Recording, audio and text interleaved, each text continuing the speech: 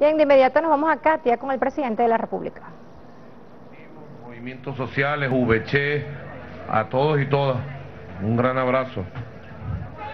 Estamos al aire ya. Un saludo a toda Venezuela, desde acá, desde Gramovén, el corazón de la Katia que se fundó en los años 20, 30 más o menos.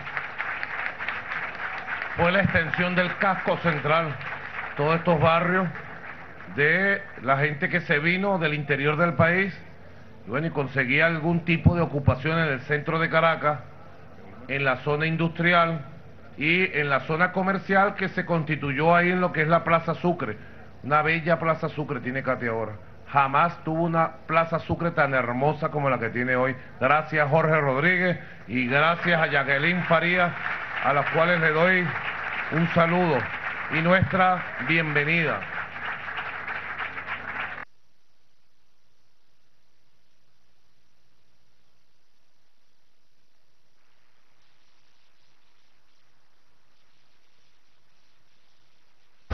Precisamente los proyectos que se hicieron en Casalta, 23 de lo que hoy es 23 de enero, se hicieron para que estas montañas del oeste de la ciudad, donde vivió y se asentó las tribus de los Caracas bajo la conducción de Katia y de muchos otros, pudieran empezar a vivir en zonas llamadas urbanizadas, que fue lo que se planteó Pérez Jiménez en su momento, más allá de las críticas que se le puedan hacer a Pérez Jiménez, ideológicamente. Él se planteó un, proyecto que, bueno, fue destruido por el punto fijismo, sencillamente. Por eso Pérez Jiménez después, su venganza contra el punto fijismo, si lo podemos llamar de esa forma, es decir, bueno, yo dejé 20 mil familias en barrios con ranchos y 20 años después había 2 millones de familias. Era el golpe que le daba certero al punto fijismo, el general Marcos Pérez Jiménez, que luego murió por allá por Madrid, España. Así que nosotros, bueno, al venir acá, estos son lugares muy queridos y conocidos por todo este equipo de trabajo, donde cuántas veces recorrimos recientemente, hace 20 años con el comandante Chávez, ya con el movimiento bolivariano revolucionario 200, movimiento que está más vivo que nunca, que está, vive en el pueblo. El pueblo entero es el movimiento bolivariano revolucionario 200. El movimiento bolivariano. Fíjense ustedes el concepto. Movimiento bolivariano para hacer una revolución en el Bicentenario. Un concepto creado por el comandante Hugo Chávez. Movimiento bolivariano revolucionario 200. Y al final, lo que surgió del 4 de febrero, lo que surgió de las victorias del 6 de diciembre del 98, de la constituyente, lo que ha surgido de esta revolución de 14 años, es un poderoso movimiento. Un poderoso movimiento que es bolivariano, que hace, hizo y está haciendo una revolución con las ideas de hace 200 años de Bolívar. O sea, que el movimiento bolivariano es el pueblo entero, el pueblo completo es el movimiento bolivariano, revolucionario 200. Y por eso es que tenemos que estudiar, yo sigo insistiendo, a nombre de la memoria y el legado de nuestro comandante Hugo Chávez, con la misma persistencia y terquedad histórica que él nos enseñó para defender las causas justas. Hay que estudiar, hay que estudiar los documentos originales del creador, alma inspirador y líder eterno de esta revolución. El creador de esta revolución tiene un solo nombre. El alma de esta revolución tiene un solo nombre, no dos ni tres ni cuatro. Uno solo. Estamos claros, ¿verdad? Y ese nombre es Hugo Chávez Frías. No son dos, no son tres. No, es uno solo, el creador de esta revolución el alma de la revolución. Y ustedes saben, compatriotas, desde Gramovén, desde acá de la parroquia Sucre, un saludo a todos los habitantes, compatriotas de toda esta populosa y gigantesca parroquia Sucre. Cuando la gente va, ve hacia el oeste dice Katia, toda Katia, pues. Propatria, Las Lomas, Urdaneta, Las Lomas de Urdaneta, Casalta 1, Casalta 2, Niño Jesús, Boquerón, Nuevo Horizonte, la carretera vieja de La Guaira, Ruperto Lugo, Gato Negro, Cútira, Lídice, Los Frailes, La Silsa, Gramovén, Altavista, El Amparo. Ahí está el compañero Pedro Infante. Nos las pasamos hace 20 años, un poco más, en el Amparo allá. Amparo abajo, Amparo arriba. Isaías Medina Angarita. ¿Ah? La carretera vieja de la Guaira, etcétera. Federico Quiró. Y este libro, Pedro se debe recordar y Eduardo Piñate también. Bueno, las pasamos juntos allá, barrio por barrio, tratando de construir la fuerza para una segunda insurrección cívico-militar.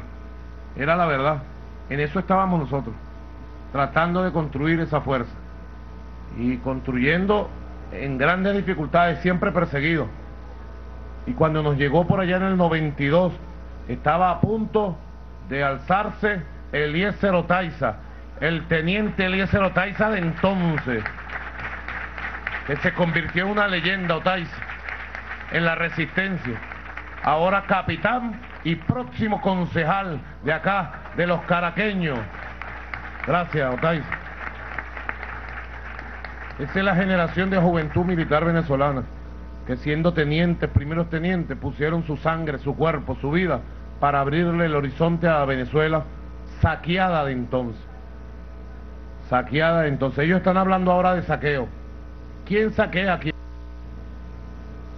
¿Quién saquea a quién? El dueño de un establecimiento que le pone el precio de 200 mil bolívares, 1.200 por cientos más a un producto que han comprado con dólares preferenciales de la República Bolivariana de Venezuela o el pueblo que va a comprar con su gobierno a precio justo. ¿Quién saquea a quién? ¿Quién roba a quién? Van a decir que el pueblo venezolano es un pueblo de saqueadores, de ladrones, bandidos.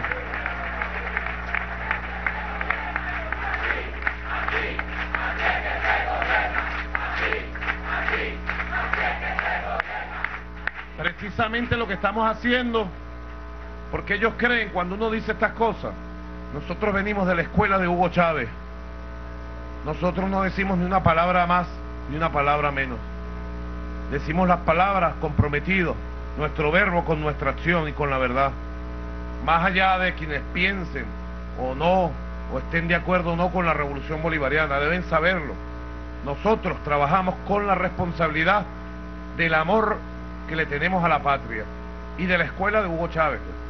Cuando nosotros venimos diciendo desde hace un dos meses ya o más, estamos preparando una ofensiva económica y no han visto nada porque lo que hemos hecho no es ni la punta del iceberg de lo que vamos a hacer para garantizarle al pueblo sus derechos económicos, sus derechos sociales y a nuestra patria la paz y la estabilidad. Lo que hemos hecho es apenas una puntica, pues lo que han visto es la puntica, como se dice. Esa es la puntica del iceberg. Del iceberg. Hoy se ríen. La punta del iceberg. Ustedes saben qué es eso, ¿verdad?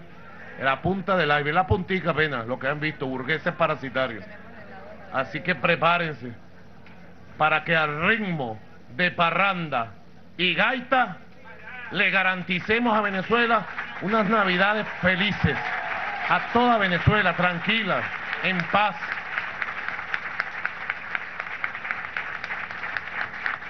Estén pendientes porque en breves minutos vamos a mostrar otros resultados de esta gran ofensiva económica popular y revolucionaria.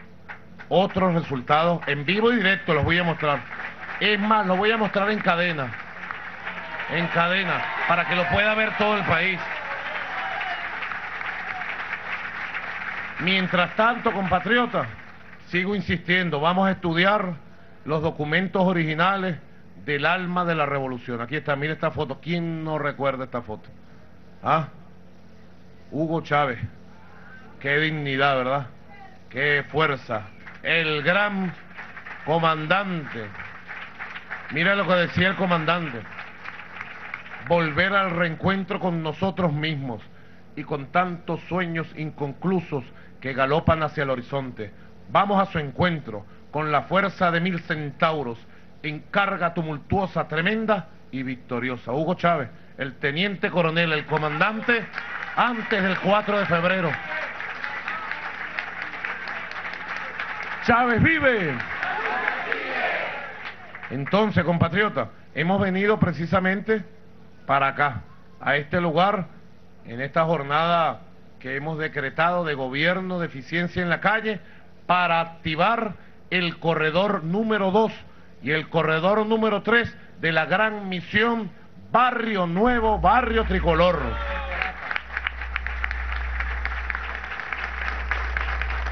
Hace una semana activamos el corredor número 1. Ustedes lo vieron. Desde los sin techos, Gran, Colombia, La Bandera, El Valle, Coche, Las Mallas. Casi 30 mil familias. Quiere decir que vamos a impactar 150 mil compatriotas. Ahora están elaborando el plan de obras. Lo dividimos en 14 zonas, ese corredor. ¿Cierto, no? 14 zonas. Y ya en cuatro de ellas estamos trabajando, empezaron las obras, porque ya habían avanzado en el plan de obras. Ahora estamos, ya vamos a explicar la estrella de planificación de los cinco puntos, ahora en 10 corredores, perdón, en 10 zonas de los 14, de las 14 zonas del primer corredor, se está trabajando en el plan, en el plan integral, que es muy importante que se vea que es un plan integral, de la zona 1 de Caracas. Ya se, ya se organizó la sala mayor. Sí, se va a instalar.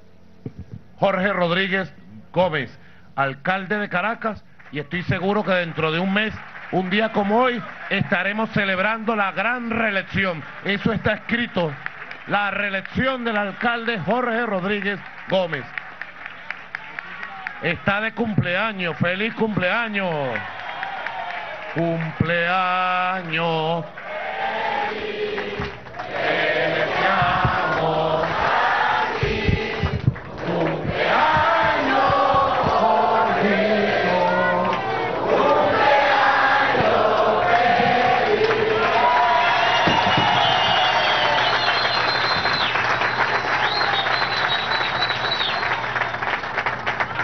Jorgito Rodríguez, yo lo conocí como Jorgito niño, ¿verdad? Eduardo Piñate por allá. Año 76, cuando me perdona Jorge y Delcy, pero sé que es doloroso para ellos, cuando esta misma burguesía asesina y parasitaria mató a golpes a quien iba a ser uno de los grandes líderes de la Venezuela socialista que ya se veía en el horizonte, Jorge Rodríguez Padre. Desde ahí lo conozco, desde niño, formado en un hogar de mujer honesta como su madre, Delcy Gómez de Rodríguez, y bueno, en los valores de Jorge Rodríguez Padre. Adelante, Jorge. Muchísimas gracias, presidente.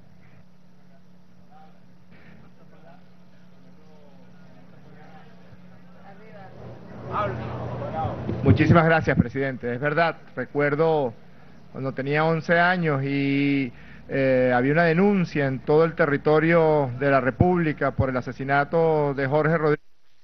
Recuerdo a los jóvenes levantaron de todos los barrios de a protestar y a denunciar el asesinato y la persecución de revolucionarios. Y entre esos jóvenes de 12, 13, 14 años estaba nuestro presidente obrero, nuestro presidente revolucionario Nicolás Maduro, recorriendo las calles de la parroquia del Valle, de la parroquia Santa Rosalía, de la parroquia San Pedro, levantando las banderas de la revolución venezolana. En efecto, presidente, usted inició el despliegue del corredor número uno de Caracas de Barrio Nuevo, Barrio Tricolor, el pasado día sábado. Eso implicó definir 14 sectores de barrios, la cobertura de casi 30 mil, 29 mil familias en esos 14 sectores de barrios que van desde los turmeritos, las mallas, pasando por Coche, el estanque, Cochecito, los barrios de Coche, los barrios del Valle, todos los barrios de la parroquia del Valle y lo que podemos llamar la cara norte de la montaña que da hacia los barrios del Valle, los barrios de Santa Rosalía, Sin Techo, Gran Colombia, La Bandera. en cuatro de esos 14 sectores ya se había instalado la sala del barrio, se había hecho el diagnóstico y en el gobierno de calle del pasado mes de mayo usted aportó los recursos, más de 800 millones de bolívares, que permitió después que cada una de las salas hiciera el diagnóstico, que los recursos se dispusieran para iniciar los trabajos. En este momento ya se instalaron las otras 10 salas de barrio y están haciendo el diagnóstico definitivo y entre el martes y el miércoles de la, sala, de la semana que viene se instala la sala mayor del corredor número uno. Hoy estamos eh, en la instalación de los corredores 2 y 3 que corresponde a el gran sector popular de la parroquia Sucre de Katia, que como es tan grande, caben en los sectores populares de Katia tres corredores. Y hoy estamos instalando Katia Sur y Katia Central, aproximadamente no, 22 sectores de barrio, y estamos atendiendo tanto como 57. Muchas gracias, Jorge Rodríguez. Quiero saludar también que está con nosotros en esta mesa de trabajo al ministro de Ambiente, compañero Miguel Leonardo Rodríguez también, y está aquí por un tema clave, que yo le voy a insistir muchísimo, que es el tema del agua. Nosotros tenemos que regularizar con calidad el servicio del agua hasta el último hogar de todos los corredores de la gran misión Barrio Nuevo, Barrio Tricolor. Agua potable y limpia para el pueblo. Porque ustedes saben el problema que hay con el agua. La irregularidad que hay muchas comunidades populares con el agua. Yo le acabo de aprobar para tres años, profesor Jorge Giordani, vamos a saludar al profesor Jorge Giordani, vicepresidente de planificación responsable de la construcción del socialismo de aquí para adelante, con sus orientaciones. A la compañera almiranta en jefa también, nuestra Fuerza Armada, Carmen Teresa Meléndez Rivas, de los Meléndez Rivas de Barina. Al mayor general Mota Domínguez, jefe de la red y central. A nuestra ministra de Pueblos Indígenas, Aloha Núñez, de la juventud indígena de nuestra patria.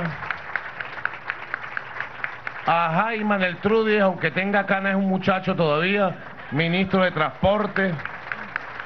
A también una muchacha, fíjense ustedes, la juventud gobernando, la juventud patriota, del Cieloína Rodríguez Gómez también, ministra de Comunicación también a un muchacho mayor general ejército, ministro del Interior, Rodríguez Torres. Tiene noticias, vamos a conversar ahora sobre todo esto que está la ofensiva económica. Otro muchacho, Farruco Sexto, camarada. Miren, los que lo aplauden. Farruco concejal. ¿ah? Mira cómo lo aplauden los barrios. Farruco, Farruco. La camarada María Cristina Iglesias, recorriendo la patria. Otra muchachita, Andreina Tarazón, ministra de la Mujer. Otra muchachita, Marian Hanson, ministra de Educación. Otro compañero, general ejército, ministro de la Banca Pública, Marco Torres, presidente del Banco de Venezuela el mayor general Giuseppe Llofreda, comandante general de la aviación, a barrio adentro. Los felicito, compatriotas, a todos. Por aquí tenemos a otro mayor general, perdón, no, mayor, tiene que ver con mayor, alcalde mayor, ah, dentro de un mes ya es alcalde mayor, Ernesto Villegas Polhap. Ernesto Villegas Polhap.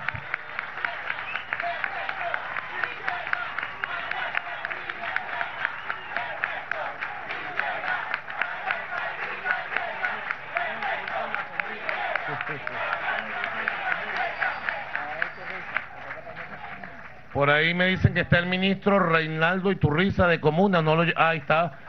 No lo visualizaba. Mayor General Izquierdo Torres, jefe de la red central de nuestra patria. Muy bien, tremendo trabajo. Quiero felicitarlo, está haciendo. El jefe de la red. Muy bien. Al Mayor General, Comandante General de la Milicia Nacional Bolivariana, compañero Briceño Moreno. Mucha fuerza, para adelante. Bueno, a todos los compañeros presentes aquí, vamos entonces a, explicar qué venimos a hacer el día de hoy. Yo pido un micrófono para ir hasta las láminas y desde allí poder ubicarnos situacionalmente e inmediatamente activar los dos corredores que venimos a activar el día de hoy. Pido un micrófono para arrancar. Tenemos listo ya el pase a la Silsa, correcto, ¿no? Callejón Brión, casa número 4, segundo plan del sector La Silsa. Sector La Silsa. Ya está el compañero. Como ustedes pueden ver, el gobierno de eficiencia en la calle tiene al gobierno desplegado, al alto mando de la Fuerza Armada Nacional, a los jefes militares de regiones, de estados, de la SODI, los tenemos desplegados adentro en las comunidades. Adentro. Ayer estuvimos en Anzuategui. Y bueno, todos los compañeros estaban allá adentro, la mesa de Guanipa, en el Tigre, hasta las 2, 3 de la mañana. Y hoy estamos aquí activándonos en Caracas. Y en los próximos días vamos a activar el Zulia, Lara, Táchira, Maturín, el Estado Bolívar, el país entero. Porque hemos decidido colocar la gran misión Vivienda Venezuela y la gran misión Barrio Nuevo, Barrio Tricolor, como hermanas siamesas en el centro de toda la ofensiva popular, revolucionaria y social del gobierno en los próximos cinco años. Vamos a estar concentrados allí, humanizando lo primero, urbanizando, reordenando todas las ciudades, todos los pueblos, dejando atrás las heridas de la miseria, de la pobreza acumulada, las heridas de los saqueadores, de los que saquearon a nuestra patria, dejándolas atrás, las heridas físicas, donde uno vive, cómo vive, las heridas físicas en la comunidad, dejándolas atrás, el gran sueño del comandante Chávez. Aquí está. Estamos entregando por miles, pendientes, atención, atentos, atentos, atentos, las comunidades de todo el país. Aquí está el material base para el trabajo de la gran misión Barrio Nuevo, Barrio Tricolor. Así, fíjense, con este logotipo que aquí quiero mostrar, así se imaginaba y soñaba nuestro comandante Chávez, las comunidades populares para el siglo XXI, para el socialismo bolivariano. Aquí está, la belleza multicolor debe ser la marca de las comunidades que vamos a construir y a reconstruir, a humanizar y rehumanizar, a urbanizar y reurbanizar. Es una gran tarea y es una tarea quizás de la más importante. Es la gran tarea de la revolución bolivariana.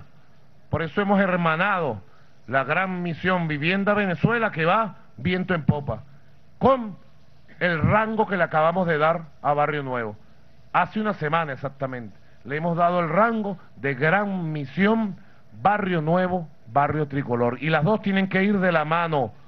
Nuestra meta en este primer año es atender, cuando llegue noviembre del próximo año, debemos haber atendido directamente, con resultados, logros concretos, en la construcción y reconstrucción, en la humanización y rehumanización de las comunidades por lo menos un millón de hogares, un millón de familias, por lo menos. Sí podemos, sí podemos, les digo yo a ustedes, sí se puede. Ahora necesitamos unificar, organizarnos bien, organizarnos mejor y vamos a pasar, no ha llegado el micrófono, parece que está caro el micrófono. Correcto. Ahorita, están desplegados ya. Ah, faltan ustedes por desplegarse, todavía hay que desplegarse. En este momento estamos desplegados y vamos a desplegarnos en las siguientes comunidades. en los Magallanes de Katia. Tenía que ser, mira el nombre, Jordani, del nombre de la cancha donde está Merentes. En los Magallanes de Katia. En la cancha El Placer, Nelson Merentes. La eligió. Y va saliendo en este momento la almiranta en jefe para los Magallanes de Katia, Carmen Teresa Meléndez. Adelante. Para el barrio El Amparo, un saludo al Amparo. Allá nos la pasamos en el club, ¿verdad, Pedro? En el club del Amparo, organizando. Teníamos una fuerza buena, buena, bastante buena. Si nos hubiéramos conectado con el comandante Chávez para el 4 de febrero, hubiéramos hecho algo. En el Amparo, en Las Piñas, en Niño Jesús, en Barrio Horizonte, en Las Casillas. Bueno, teníamos gente en todos lados, en La Vega. Algo hubiéramos hecho en Boquerón, en el Valle bastante fuerza. Después del 27 de noviembre estuvimos concentrados en el Valle, coche. Casi nos matan, pero así fue en Gramovén. Allá para Barrio El Amparo va la ministra Andreina Tarazona. Adelante, Andreina, muy bien. En el barrio Casablanca, Escuela Nueva Esparta, está Andrés Izarra ya, desde temprano. En el barrio Isaías Medina Angarita también. Toda, es, esa corredor va, Lomas de Urdaneta, Isaías Medina Angarita. Son barrios bellísimos, déjeme decirlo. Su estructura interna son bellísimos. Y ahora los vamos a poner, bueno, a la altura. Bueno, van a venir los turistas del mundo a conocer los barrios de Venezuela, los barrios de Caracas. Van a ser centros turísticos. Ustedes van a ver de la belleza humana y de la belleza física, que tienen que ir juntos de la belleza física y humana. Ustedes van a ver, así como la gente de pronto ahora va para Mérida y van para los barrios antiguos para hacer turismo, suben por una montaña, suben por la otra. Así van a ser los barrios dentro de unos años, en la Zulita y por allá. Así es. Para allá vamos, pues. Igualmente allá en Isaías Medina Angarita, en la calle principal frente a la iglesia de los doce apóstoles, allá está Manuel Fernández, ministro de Ciencia y Tecnología.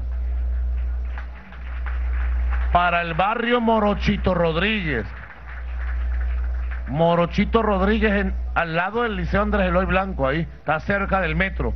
Para allá va directo, vía satélite, Farruco Sexto directamente. Eso es lo que le gusta a Farruco, estar en la calle. Para adelante, camarada. Felicitaciones para las brisas de Propatria. Mandamos saludos y abrazos porque va saliendo Marian Hanson.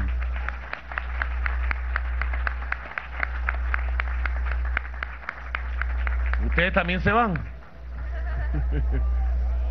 ah, porque aquí hay movimiento de gente, salieron 10, entraron 10. Como tienen alquilado el cupo ahí.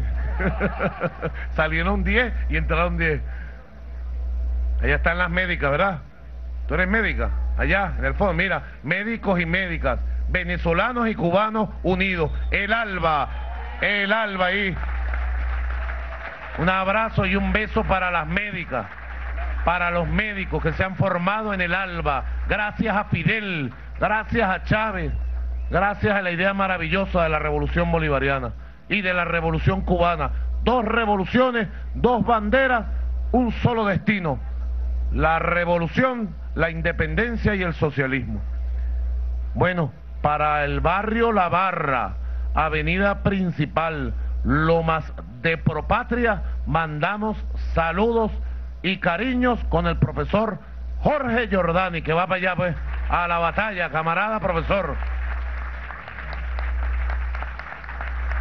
Para Mario Briceño y Lagorri, en la Escuela Técnica Cardenal Quintero, está la comunidad en asamblea y para allá va Jaiman el Trudy. Vamos, Jaiman, a la batalla. Para Loma Grande, calle principal Amilcar Miranda, kilómetro 4 el Junquito, por allá cerca vive la familia de Silvia, la mamá. Ahorita Silvia se fue para allá, le mandé saludos a la mamá de Silvia, ustedes la conocen, ¿no? Que anda por allí batallando siempre revolucionaria en la calle.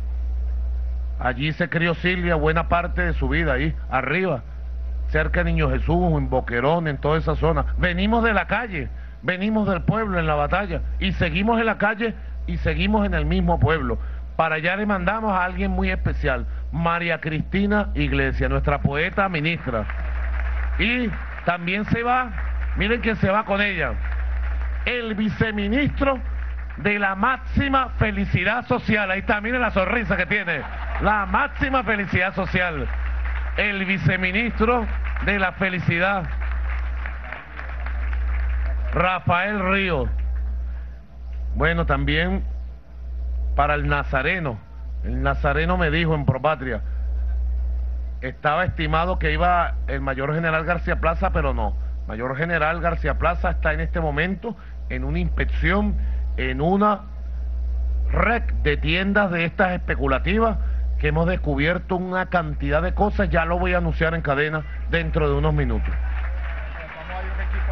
Allá en Nazareno, cancha del bloque 7, Nazareno de Propatria, están un grupo de compañeros trabajando y el general García Plaza al salir de allá se va directo para el Nazareno.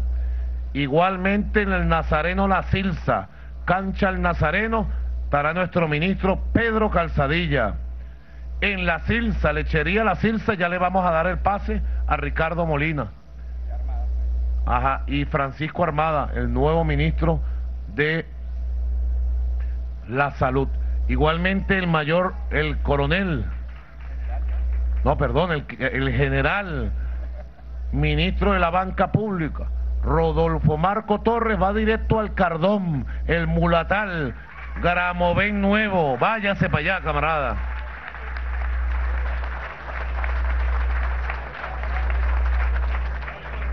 La ministra Alejandra Benítez, ministra del Deporte, va para la cancha de básquet de Oropesa Castillo, allá en Nuevo Horizonte. Un abrazo a la gente de Oropesa Castillo, de Nuevo Horizonte, para adelante, camarada.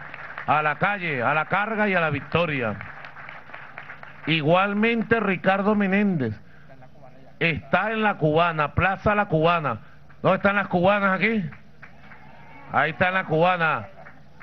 Va para la Plaza La Cubana, avenida principal de Gramovén, Nuevo Horizonte.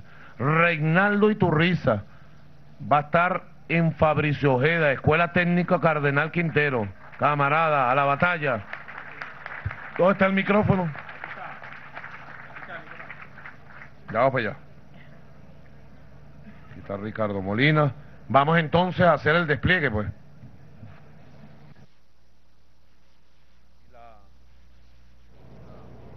Bueno, camarada, aquí estamos.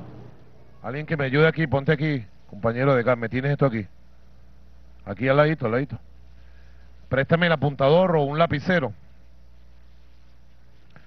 Apareció un lapicero más rápido. Aquí tenemos, pues. Ustedes ya conocen la estrella de los cinco puntos, ¿verdad? Seguro. Vamos a taparla un momento, que nadie se copie. Vamos a ver los cinco puntos de la planificación. ¿Cuál es el primero? Las comunas. Las comunas, la organización popular.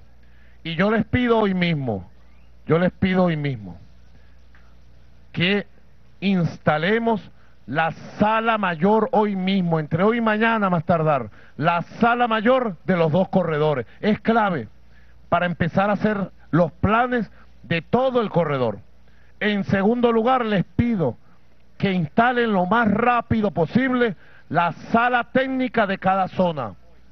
Hoy mismo, si es posible, ojalá, ojalá cumplamos esa meta. Porque cada zona debe tener una sala técnica que va a dirigir el plan, la logística, los recursos, las inversiones. Y cada zona tiene internamente sectores, ¿verdad? Barrios.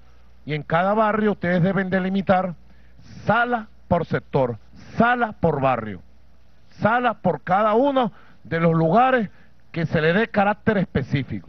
Quiere decir que el primer punto aquí que estamos señalando, que es la comuna organizada, debe tener expresiones concretas para este plan, para la gran misión. La primera, ¿cuál es? La sala mayor del corredor, que va a coordinar todo el corredor.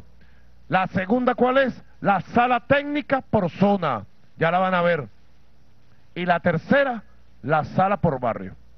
Eso es clave. Segundo lugar, aquí estoy a punto de caerme. Si me caigo, me disculpan. No se vaya a reír. Bueno. Como cuando me caí en la bicicleta. Empezaron entonces esto, la trilogía del mal, la manda mensajito. Se cayó Maduro, ya está listo. Lo tumbamos. Ridículo. Me caí a los cinco minutos, a los dos minutos me levanté y dije, quien se caiga, que se levante. Y quien se levante, pa'lante. Pa'lante y pa'lante, más nada. Y aquí vamos, pues. Y aquí vamos, pues. Primera punto. Segundo, ¿cuál es?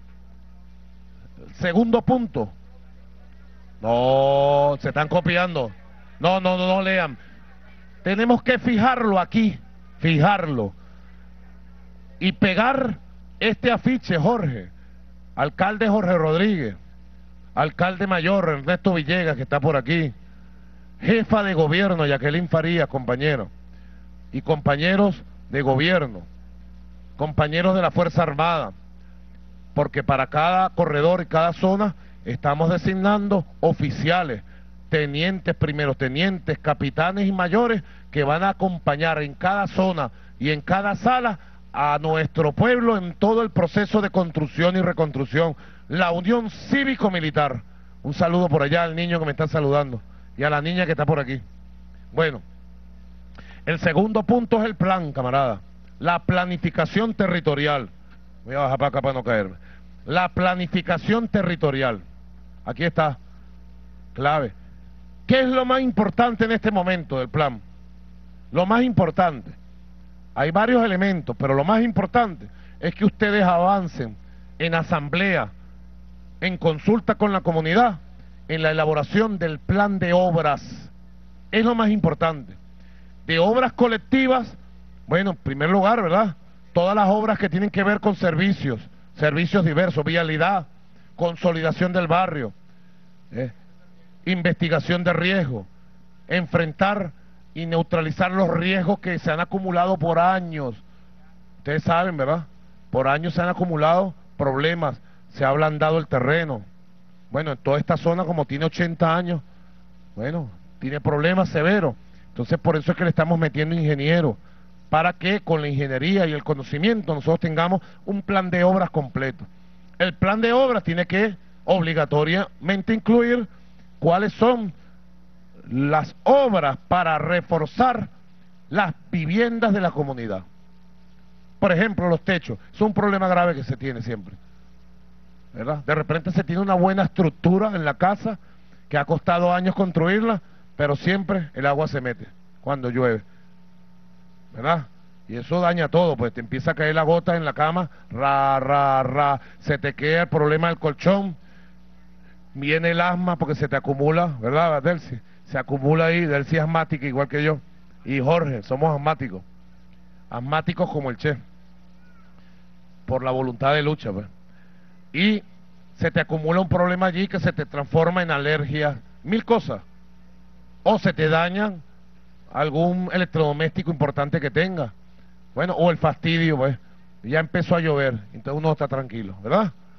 Entonces, el tema de los techos es un tema clave. Y la instalación de fábricas de techos aquí, aquí, adentro. ¿Quién hace los techos, pues? Tenemos los materiales en Venezuela. ¿Y quién los hace? No lo hacen los trabajadores. Yo pasé por un taller la otra vez aquí mismo, saliendo de Gramovén. Ahí estaban los trabajadores saludándome otra vez hoy. hoy. Y allí ellos hacen de todo, hacen milagros. Así que el plan de obras es lo fundamental de esto, camarada. El plan de obras, el plan de obras colectivo, y hay que visualizar, hay que visualizar cómo queremos que sea en el futuro nuestras comunidades, cómo queremos que sea, tanto desde el punto de vista estético como desde el punto de vista estructural. ¿Y por qué digo estético? Porque es muy importante, pues. Este sueño del comandante Chávez, este sueño, tenemos que llevarlo a la realidad. Ustedes tienen que ponerse con arquitectos, ingenieros, paisajistas, artistas y ustedes mismos a visualizar estas montañas tan hermosas que tenemos. ¿Cómo queremos que sean? dentro de seis meses, dentro de un año, dentro de dos años, tres años. ¿Qué color deben tener? ¿Qué estructura deben tener? ¿Qué más cosas debemos agregarles? Por ejemplo, aquí está Miguel Leonardo, pues, que es ministro del Ambiente. No solamente él dirige el plan del agua, ya le aprobé los recursos para dos años y medio. 16 mil millones de bolívares para el plan de agua. Para llevar el agua hasta el hogar y que no falle el servicio. Él tiene algo fundamental, la misión árbol. Yo le propongo, no lo había saludado, aquí está Ángel Rodríguez, es el jefe nacional de la gran misión Barrio Nuevo, Barrio Tricolor. Yo le propongo a Ángel, Miguel Leonardo, la misión árbol.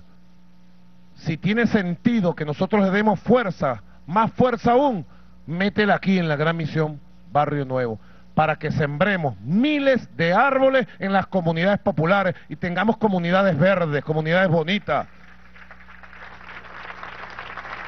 Entonces, el plan de obras, en tercer lugar, la logística y los recursos.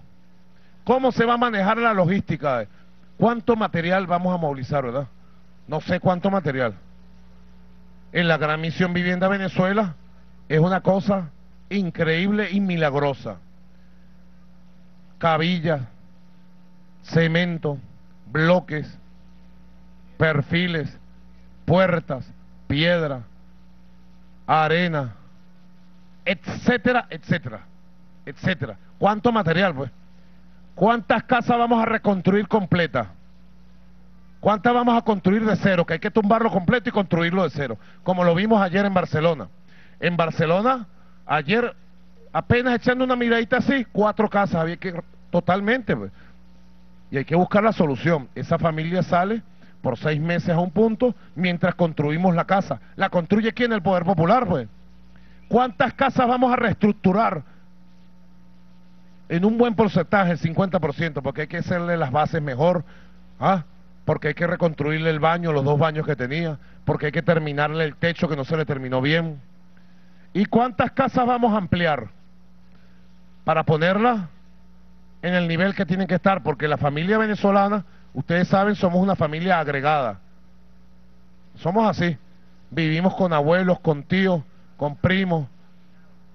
Entonces, se puede crear lo que dice el compañero. Se crea a veces el hacinamiento. Ahora, yo digo, es una cosa bonita cómo funciona la familia venezolana. Deberíamos tratar de mantener esa familia agregada y unida. Entonces, si hay que construir otra, otra platabanda y construir otro cuarto un poco más grande y construir otro cuartico para que viva con nosotros la abuela o la tía o el hijo que creció y se casó, etcétera, etcétera, hagámoslo y vivamos juntos felices, unidos y felices. Si no, bueno, está la gran misión Vivienda Venezuela, pues, donde tenemos el censo y vamos cumpliendo plenamente. Por eso es que las dos misiones, las dos grandes misiones son hermanas y a mesa, ¿verdad? Nosotros con la gran misión vamos a atender Vivienda Venezuela, por lo menos, por lo menos, nos dejó la meta el comandante, en el 2018 ya debemos haber llegado a 3 millones de viviendas para el pueblo de Venezuela. Son 3 millones de hogares, ¿verdad? Y yo estoy proponiendo que con la gran misión Barrio Nuevo, Barrio Tricolor, atendamos y podemos, y tengo los recursos para hacerlo, 4 millones de hogares. Quiere decir que la suma de las dos grandes misiones nos está dando una cifra realmente que solo se puede en revolución de 7 millones de hogares. 7 millones de hogares.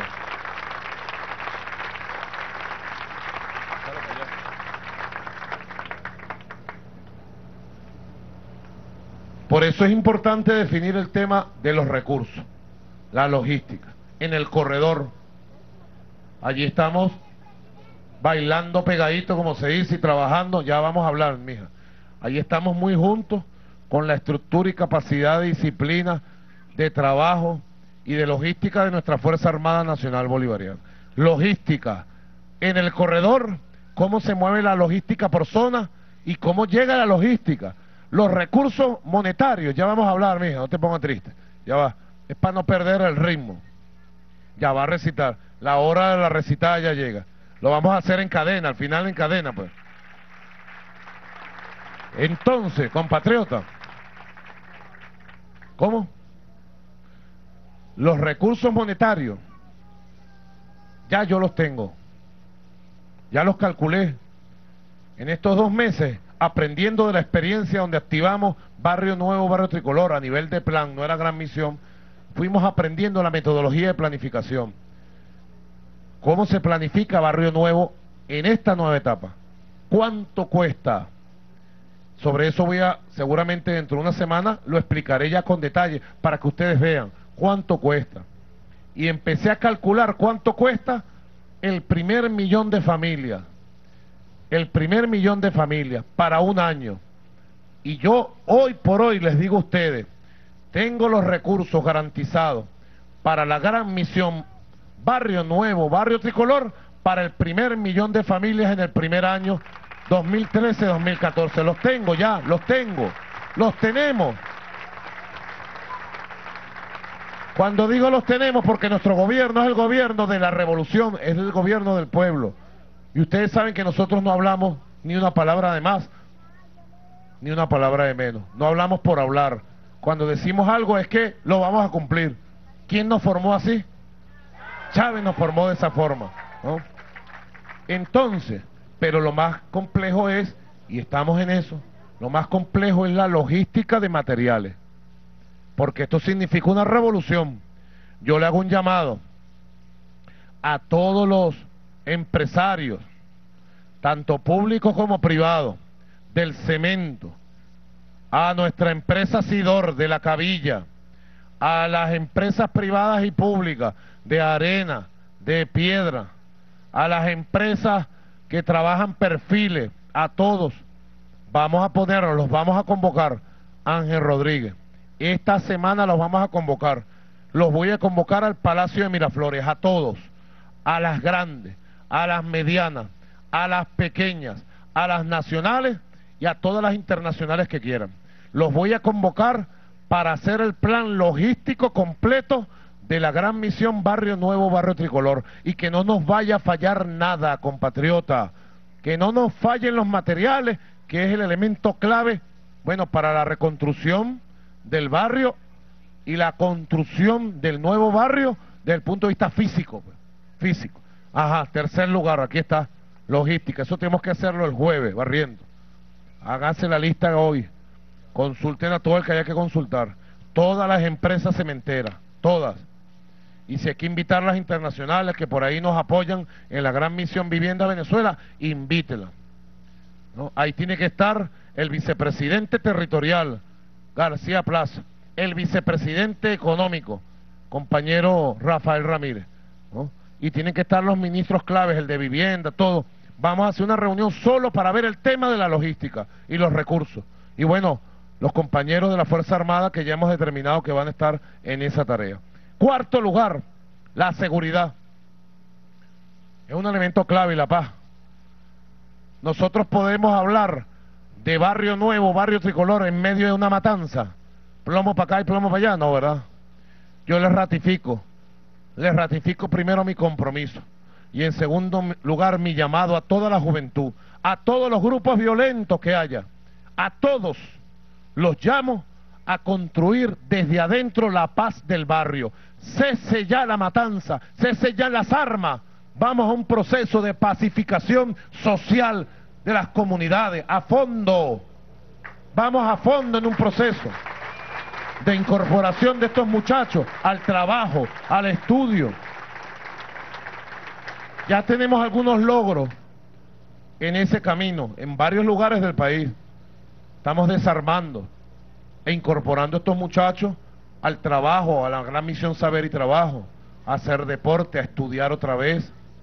En las cárceles también, ustedes ven el proceso que está dirigiendo Iris. Va ya a paso firme, a paso firme, a paso firme están los penados, y los privados de libertad con su uniforme, haciendo orden cerrado, respetando las voces de mando ya, respetando una disciplina. Vamos a paso firme, es uno de los problemas más graves que nos dejó el capitalismo. La violencia, los antivalores que nos llevan a sacar una pistola, ¡pum! y meterle un tiro por la cabeza a alguien, que quizás fue nuestro hermano que jugó con nosotros cuando era niño. O salir, no sé, a secuestrar, a atracar. Ya eso tiene que acabarse. Bastante experiencia, ¿verdad, Pedro? Tuvimos en los años 80. Yo tuve experiencia de esas características en el 80, 78, por allá en el Valle. Y después aquí, en el Amparo, 88, 89, 90, 91. El niño, ¿ustedes se acuerdan del niño aquí? En los bloquecitos. Sergio Rodríguez, el 23. Experiencia, pues, para buscar la paz desde adentro. Así que es muy importante y yo lo pongo como cuarto punto y además organizar al pueblo para la defensa de la patria. Ah, la milicia nacional bolivariana, convertirnos en milicianos y milicianas, todo. ¿Sabes qué es bonito? Uno tener su uniforme, ¿verdad? Su uniforme. Ah, entrenarse, prepararse y que tengamos todas las comunidades populares con las milicias. Nosotros tenemos que llegar dentro de cuatro o cinco años, ¿verdad? Mi mayor general, Bericeño Moreno, a un millón, a un millón de milicianos y milicianas. 2019. ¿Y dónde van a estar esos milicianos y milicianas? Aquí, el pueblo, el pueblo organizado, uniformado y listo para defender la patria ante cualquier amenaza, en cualquier momento. El pueblo de Bolívar, pues, el pueblo de Chávez. Aquí está, pues miren, aquí está, cuarto punto, y ustedes deben asumirlo en el estudio, en el trabajo, el movimiento por la paz y la vida, patria segura que dirige nuestro ministro de Interior y Justicia.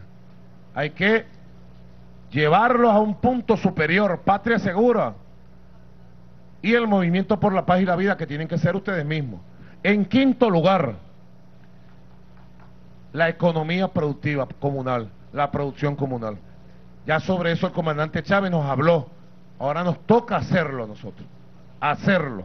Bueno, ya hay varias experiencias interesantes. Aquí hay algunas, ¿verdad? Aquí mismo en este núcleo endógeno. Experiencias muy interesantes. Yo le pondría en primer lugar la producción de alimentos. Clave, es muy importante. Organopónico. El desarrollo de la agricultura urbana organopónica. Eso es vital, pero vamos a hacerlo conviértanse ustedes, yo se los digo aquí, a la jefa de gobierno, Jacqueline, y al alcalde Jorge Rodríguez. Y también se lo digo a Ernesto Villegas, porque cuando Ernesto Villegas, este pueblo, lo haga alcalde mayor, va a tener todo el apoyo mío como presidente de la República para que se meta a construir una nueva Caracas. La gran Caracas sea de verdad una ciudad moderna, avanzada. Y yo sé que este joven venezolano se ha preparado y nos va a dar grandes sorpresas como alcalde mayor. Caracas va a tener un gran alcalde mayor en este muchacho, profesional, periodista, trabajador, que viene de las comunidades populares, de clase media popular, ahí en Coche. Yo les pido a ustedes tres, Jacqueline, Jorge, compañero Ernesto Villegas, yo les pido que hagamos un plan especial en ese sentido. Un plan especial de la agricultura urbana organopónica en la Gran Caracas y en las comunidades de Barrio Nuevo, Barrio Tricolor.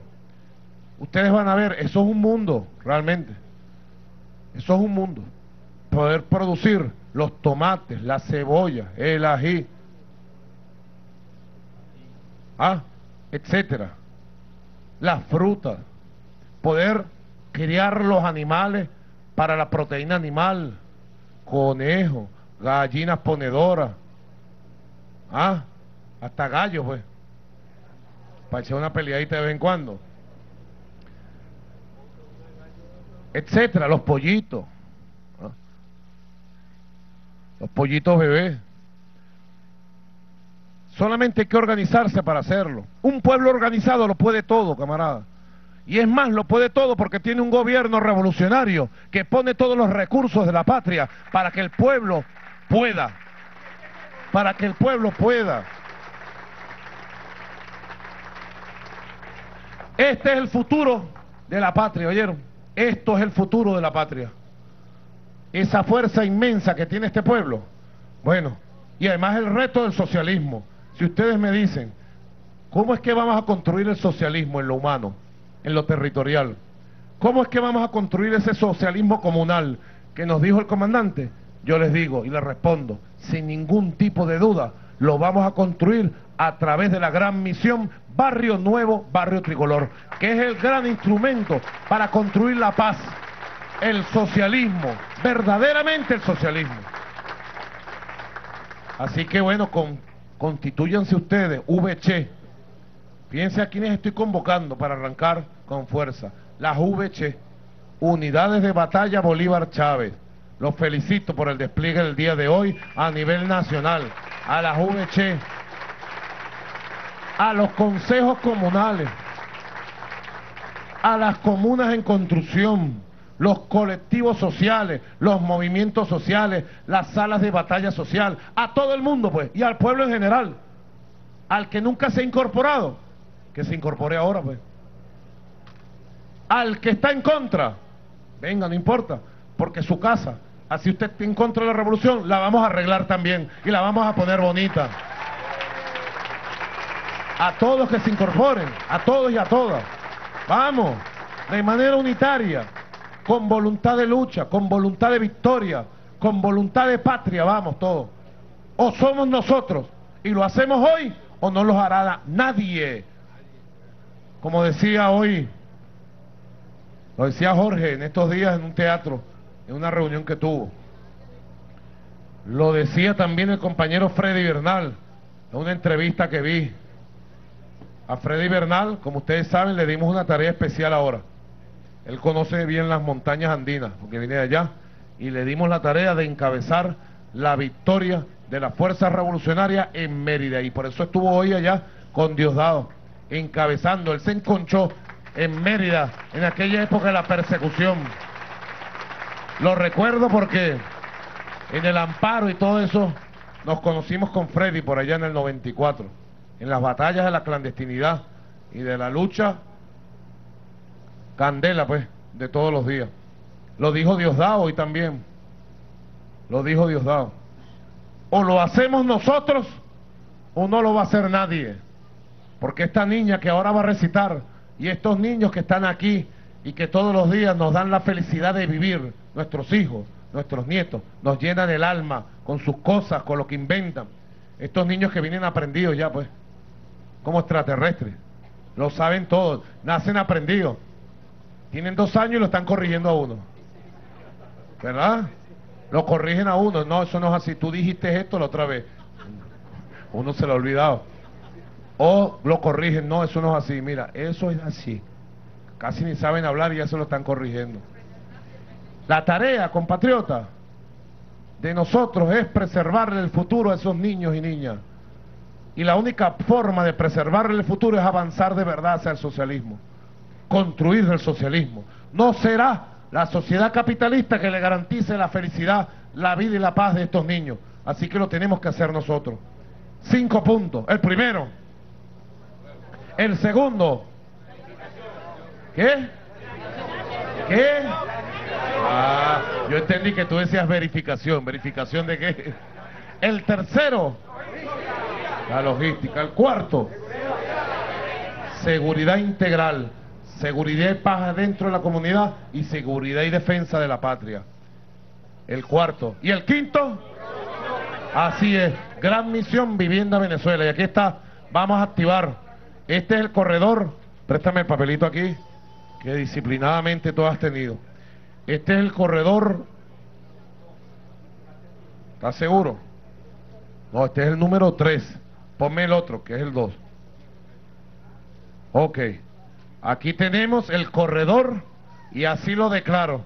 Desde acá, desde Gramovén, este va a ser el corredor número dos de la ciudad de Caracas, de la gran misión Barrio Nuevo, Barrio Tricolor, que va a englobar nueve zonas.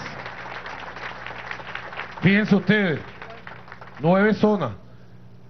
Y ocupa buena parte de lo que es el casco central y ocupa buena parte de lo que son los barrios que se fueron construyendo en las montañas, las lomas, los cerros, como le quieren decir, pues. ¿Cómo es que decía Ali primero? ¿Por qué a cumbres le dicen cumbres y lomas a propatria? Las cumbres, pues. Vamos a decirle cumbres. Cumbres, lomas, cerros, montañas, altos, vientos, terrazas. Aquí está. Este es el corredor número 2 de Caracas. Y engloba toda esta zona, ¿no? De Gramovén, La Cubana, Oropesa Castillo, Nueva Esparta, Tamanaquito, Niño Jesús, El Cardón Mulatal, Vista Hermosa y Ali Primera. Este es el diseño básico de este corredor. Ustedes, cuando ya designen la sala mayor, perfeccionan todo el mapa de arranque. ¿No es así? Arrancandito, como dice un amigo mío, hemos mapeado nueve zonas. Nueve zonas. No así, las que acabo de decir, aquí están una, dos, tres. Cada zona debe tener su sala técnica. Ahora entienden mejor, ¿verdad? Cada zona debe tener una sala técnica central que se articula con la sala mayor. Con la sala mayor. Y en cada zona, por ejemplo, en la zona 5, Tamanaquito, aquí está, mira. Ustedes tienen que ver cuántos sectores se organiza Tamanaquito. Y cada sector debe tener su sala de barrio. Esa es la estructura para organizar todo, el plan de obras, la organización comunal, todo, todo, todo el trabajo de la gran misión. Vamos a ver la zona número 3 de Caracas. De Caracas. Aquí en Caracas hemos definido, Jorge, 11 corredores por ahora, ¿verdad? 11 eh, corredores. 11 corredores que vamos a activar antes que termine el año. 11. Yo les voy a decir una cosa. Estos dos corredores que estamos activando están integrados por 79 mil familias. Sí, correcto, 79 mil familias. El anterior eran 22 mil familias, presidente, que estamos atendiendo. Y en este corredor son aproximadamente 39 mil familias, así que la suman 79 mil entre las, entre las dos. No es concha de ajo, como dice el señor Guerrero por allá en La Vega. No es concha de ajo. ¿Y por qué es una gran misión? Ustedes no se preguntan. Porque precisamente quiere impactar globalmente y transformar ya definitivamente todos los corredores, todas las áreas y urbanizarlas, consolidarlas esto lo descubrimos ahora, porque estábamos activando barrio nuevo por zonas otra vez, por un barrio aquí, un barrio allá, así no íbamos a terminar, íbamos a terminar el 2500, ¿no? Tenemos que hacer grandes corredores para grandes impactos colectivos, pero además para grandes procesos organizativos, para que se organicen miles. Si ya está organizada una vanguardia grande, buena, honesta, que son ustedes, de hombres y mujeres honestos, trabajadores, patriotas, dedicados tiempo completo. Ahora queremos multiplicarla por dos, por tres, por cuatro y tener grandes impactos transformadores y poder evaluarlos dentro de un año, evaluar, evaluar cuántos corredores activamos en la Gran Caracas, 30, 40, cuántas familias, 300 mil, bueno, resultados y veamos el resultado. Las grandes comunidades bellas, organizadas, ya con su servicio, estabilizada, con sus movimientos de paz, ya pacificados las grandes comunidades, ver los resultados, acelerar la revolución, expandir la revolución, compañeros, de eso se trata. No nos durmamos en los laureles, no, ya lo que hemos hecho, la revolución ya ha avanzado muchísimo. Lo que hemos hecho es apenas el inicio de una gran revolución transformadora de toda Venezuela. El comandante Chávez nos dejó todo para que nosotros hagamos de verdad la revolución y tenemos que hacerla. Y la gran misión Barrio Nuevo, Barrio Tricolor es la gran misión para hacer la revolución dentro de la revolución, hacer la revolución social, expandirla. Este es, presidente, Katia es tan grande que debió dividirse en tres corredores. En Katia están incluidos tres corredores. El anterior que usted mencionó, que es como la parte central de Katia, todo lo que tiene que ver con Gramoventa, Manaquito, La Cubana, etcétera.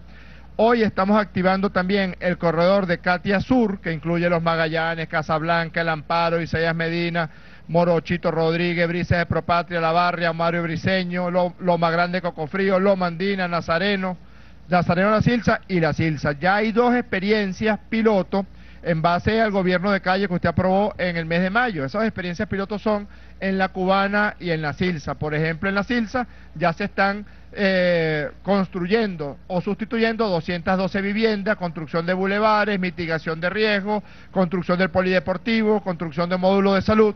Y esa misma experiencia que tenemos en la Silsa y que tenemos en la cubana se va a multiplicar en todos estos 13 corredores de Katia Sur. En total, en Katia son 79 mil familias en los tres corredores. Hoy estamos activando lo suficiente para 57 mil familias, es decir, el corredor Katia Sur y el Katia Central que usted explicó antes, presidente. Precisamente, vamos entonces hablando de la Silsa y del corredor número 2 que tiene 13 zonas, el 3, perdón, que tiene 13 zonas, debe tener su sala mayor del corredor y cada zona de estas 13 debe tener su sala técnica.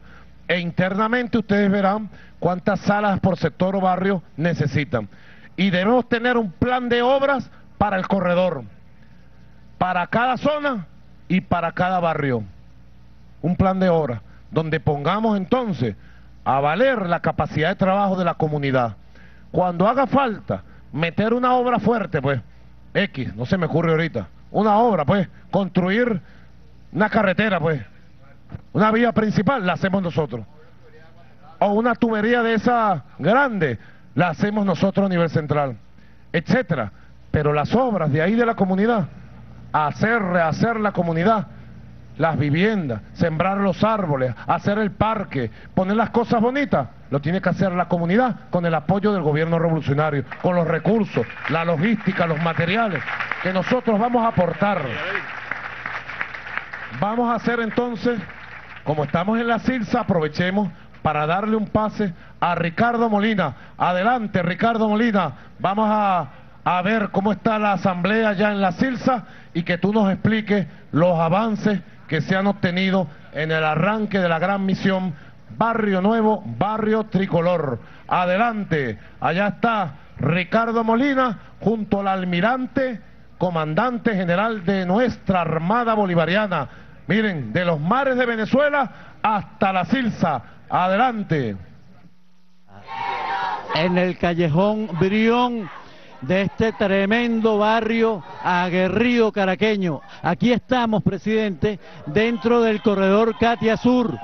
Acá en este sector, en la Silsa, son 5.100 familias organizadas en 17 consejos comunales. Acá estamos en el Consejo Comunal Ali Primera y entre todos vamos a ver muy rápido, presidente, el avance para poder darle la palabra a las vocerías. Nos acompaña nuestro almirante Gilberto Pinto, nos acompaña nuestro ministro de Salud. Eh, Francisco Armada y bueno, toda la comunidad de acá de la Silsa. Fíjese, presidente, la metodología desarrollada, propuesta por usted para la gran misión Barrio Nuevo, Barrio Tricolor, aquí está en pleno desarrollo. Primero, el vértice del pueblo. Ya, como le decía, 17 consejos comunales completamente organizados y están todos trabajando con sus eh, ¿cómo se llama? Comisiones de trabajo, con todo el, trabajo repartido. Hay una cartografía precisa acá en todo el barrio para definir los espacios de acción de cada una de las familias, de las personas que conforman estos consejos comunales. Pero además, en el vértice de planificación, ya ellos tienen determinados 67 obras priorizadas y siguen trabajando porque ya tienen conformada la sala técnica comunal que funciona aquí mismo, muy cerca de acá de donde estamos, en la antigua lechería La Silsa donde también tienen ya en desarrollo el vértice de la producción, porque ahora nos va a explicar Roger qué es lo que hacen allí. No lo quiero explicar yo, sino que sea Roger mismo el que nos explique, uno de los voceros de acá, de la comuna. Esta comuna es la comuna bolivariana y revolucionaria La Silsa y tiene el trabajo adelantado también en, la, en el vértice productivo. En el tema de logística y de recursos, en el vértice de recursos y logística también están avanzados, presidente, porque usted en la primera fase del gobierno de calle aprobó los primeros 58.5 millones de bolívares y están trabajando. Ya hay viviendas que se han venido, las primeras cinco sustituciones ya se han concluido sustituciones de viviendas, de ranchos por viviendas nuevas, las, se siguen construyendo viviendas nuevas, está incorporado el proyecto de 210 apartamentos aquí mismo, muy cerca, al lado de la antigua lechería.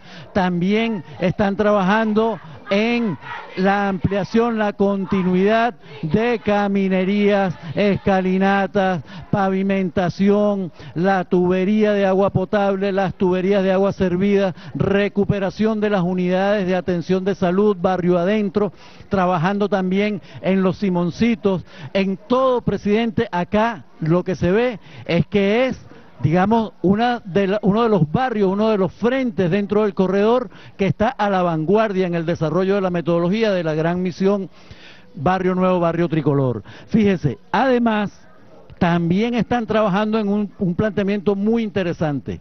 Están construyendo en esta comuna un albergue comunal. ¿Con qué finalidad? para tener un espacio digno donde transferir a las familias que hay que demoler el rancho para construir su vivienda nueva y entonces no se van a ir fuera del barrio, sino que acá mismo se está construyendo el albergue comunal para que estas familias estén allí mientras forman parte también de las brigadas de construcción que van avanzando en sus viviendas. Otro tema, presidente, de avance, almirante, hágame el favor.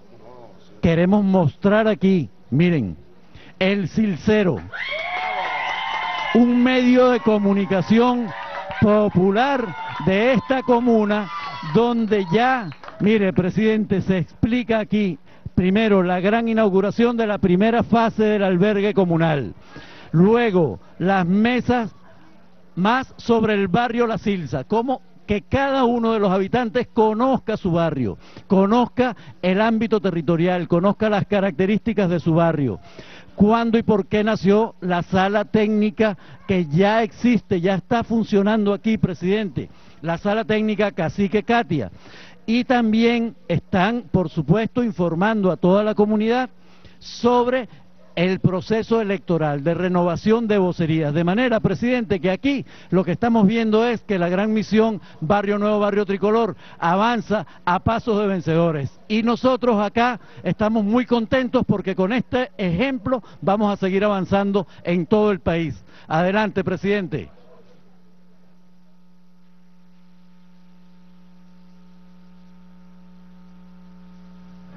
Bueno, muy bien, compañero. Además, las tomas muy hermosas de nuestras comunidades. Esas comunidades que están asentadas aquí en el oeste de Caracas. Famosas estas comunidades por la batalla de tantos años. Yo creo que el espíritu de nuestros pueblos indios se quedó aquí.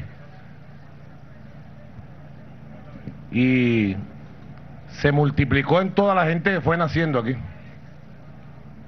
Porque de verdad el espíritu de rebeldía, siempre, ustedes lo saben, siempre estuvo en el 23 de enero, en Katia y en todas las comunidades.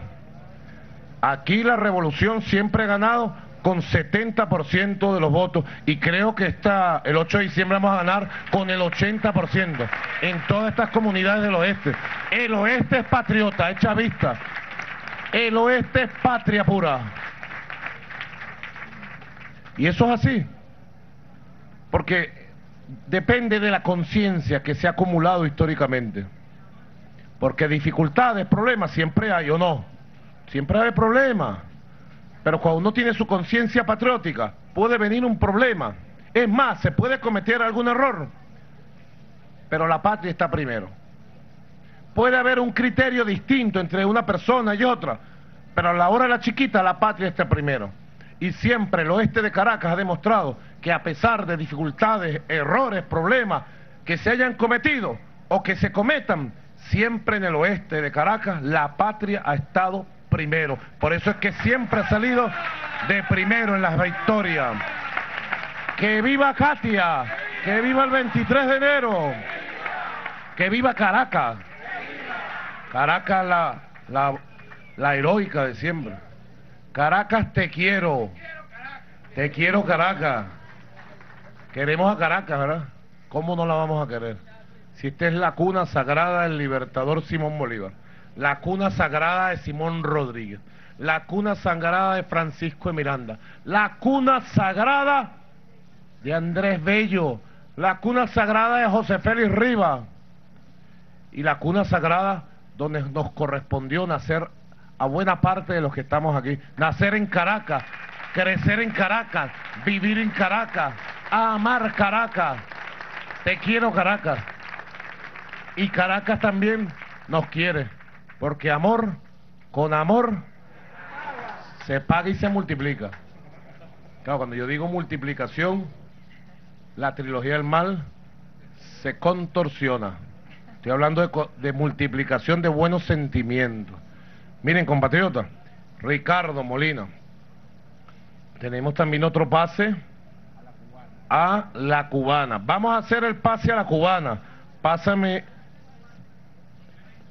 los elementos del, para que nosotros veamos entonces también en el corredor número 2, donde yo estoy en este momento, en la cubana, veamos en vivo y directo. Allá está el ministro Ricardo Menéndez. Está acompañado de Pepe Rangel. ¿Por qué Pepe Rangel?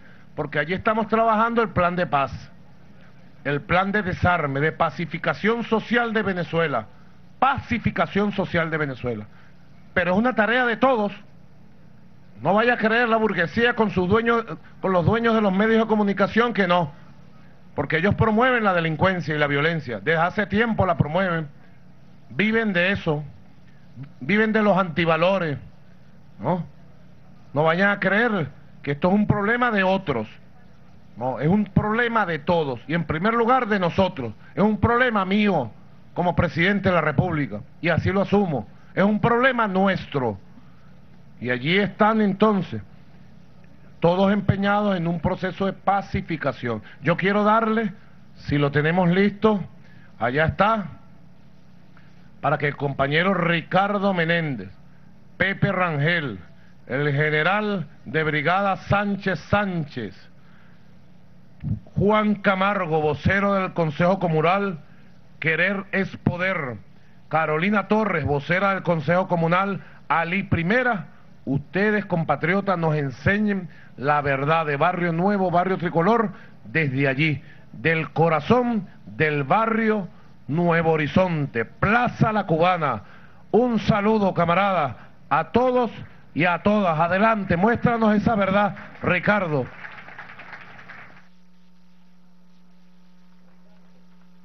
Sí, presidente, en efecto, como usted lo ha venido planteando, esta es la verdad. Esto es una verdad que muchos sencillamente han decidido obviar, trataron de obviarla durante años, fue la concepción de la oligarquía. Simplemente agarraban y veían a los barrios y ocultaban, metían, hacían como la cabeza en el avestruz, sencillamente obviaban lo que era la responsabilidad que tenían con los espacios de exclusión en nuestro país. En los barrios, en nuestros barrios, dignamente con la revolución habita el 62% de nuestro país y la revolución dice a partir del legado del comandante Chávez que los que fueron invisibilizados son hoy visibilizados y son parte contundente de la construcción de la Venezuela revolucionaria.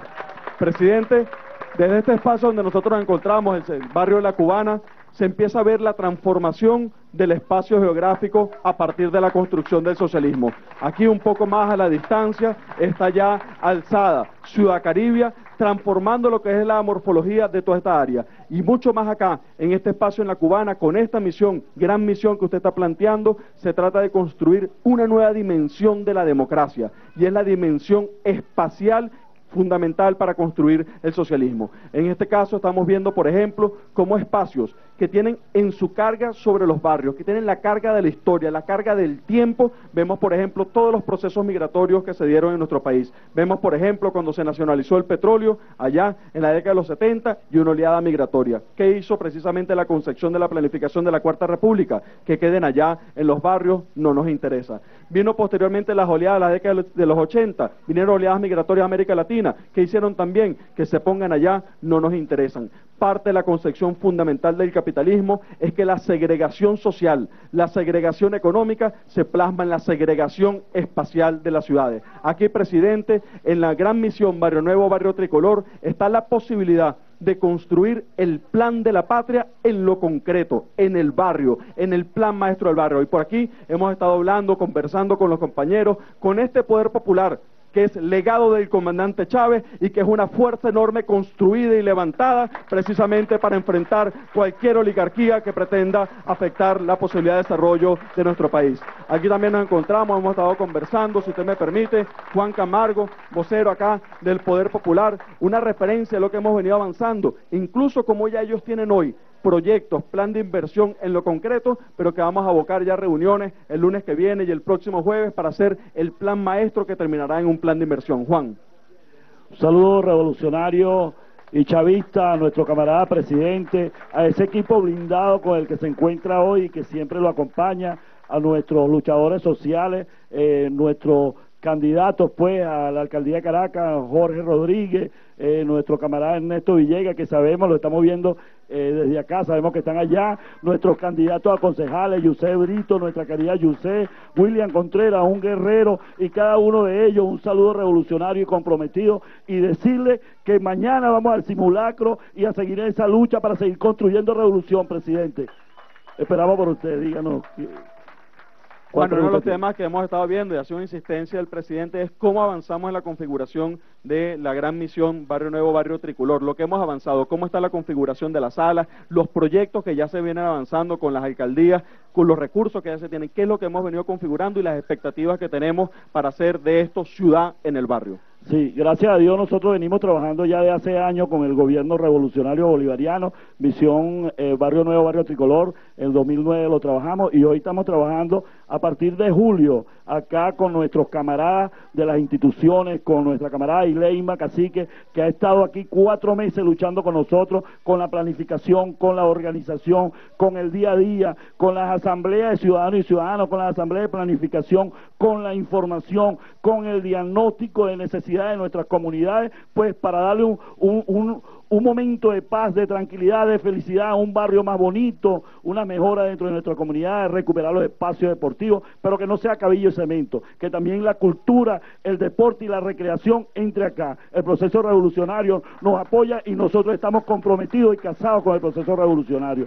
Aquí a nosotros se nos, se nos aprobó en el mes de julio 20 eh, millones de bolívares fuertes para que nosotros trabajáramos en función de las necesidades de nuestras comunidades. Diagnosticamos en mesas de trabajo, siete mesas de trabajo que salieron donde nosotros diagnosticábamos pues cuáles eran las necesidades nuestras. Eh, eh, una de las necesidades era tener comunicada nuestra comunidad. Pues trabajamos con un periódico comunitario en este momento. estamos saltando ya, estamos comprando, comprando todo el implemento para montar, montar el periodiquito. Pues ya un periódico, perdón, un periódico, no periodiquito, un periódico comunitario.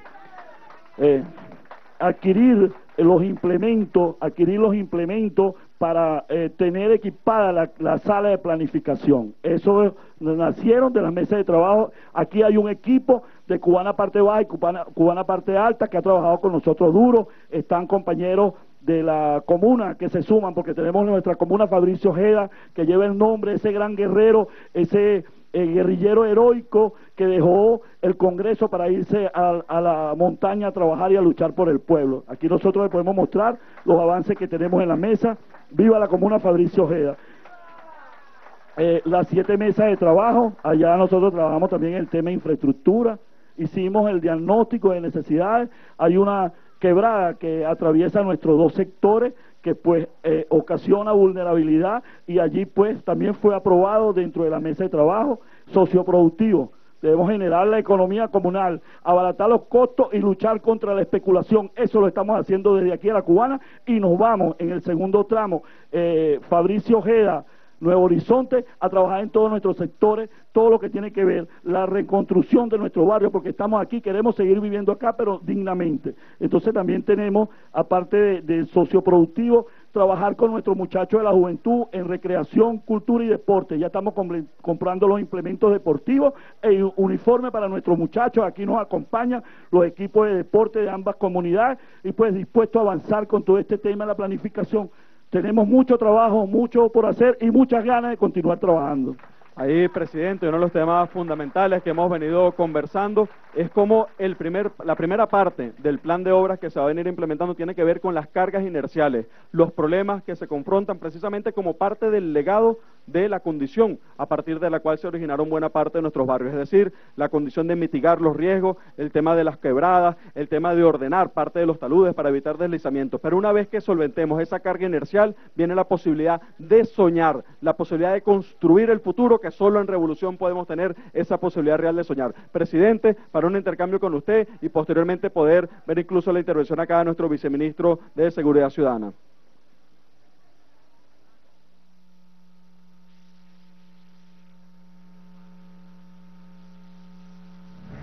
Bueno, muchas gracias, compañero. Estaba preguntando aquí por qué estamos en el lanzamiento del corredor número 2 y 3 de la gran misión Barrio Nuevo, Barrio Tricolor en Caracas. Ayer lo hicimos en Anzuategui, antes de ayer en Miranda, tremendo evento en Miranda. Quiero felicitar al protector de Miranda, Elías Agua, que no descansa por proteger a toda Miranda. Felicitaciones, protector de Miranda, canciller de la República. Ayer lo hicimos en Anzuategui, antes de ayer en Miranda. En las próximas horas, días, recorreremos el resto del país en gobierno de calle. Ahora, estamos en una batalla donde vamos combinando varias, varias líneas de acción.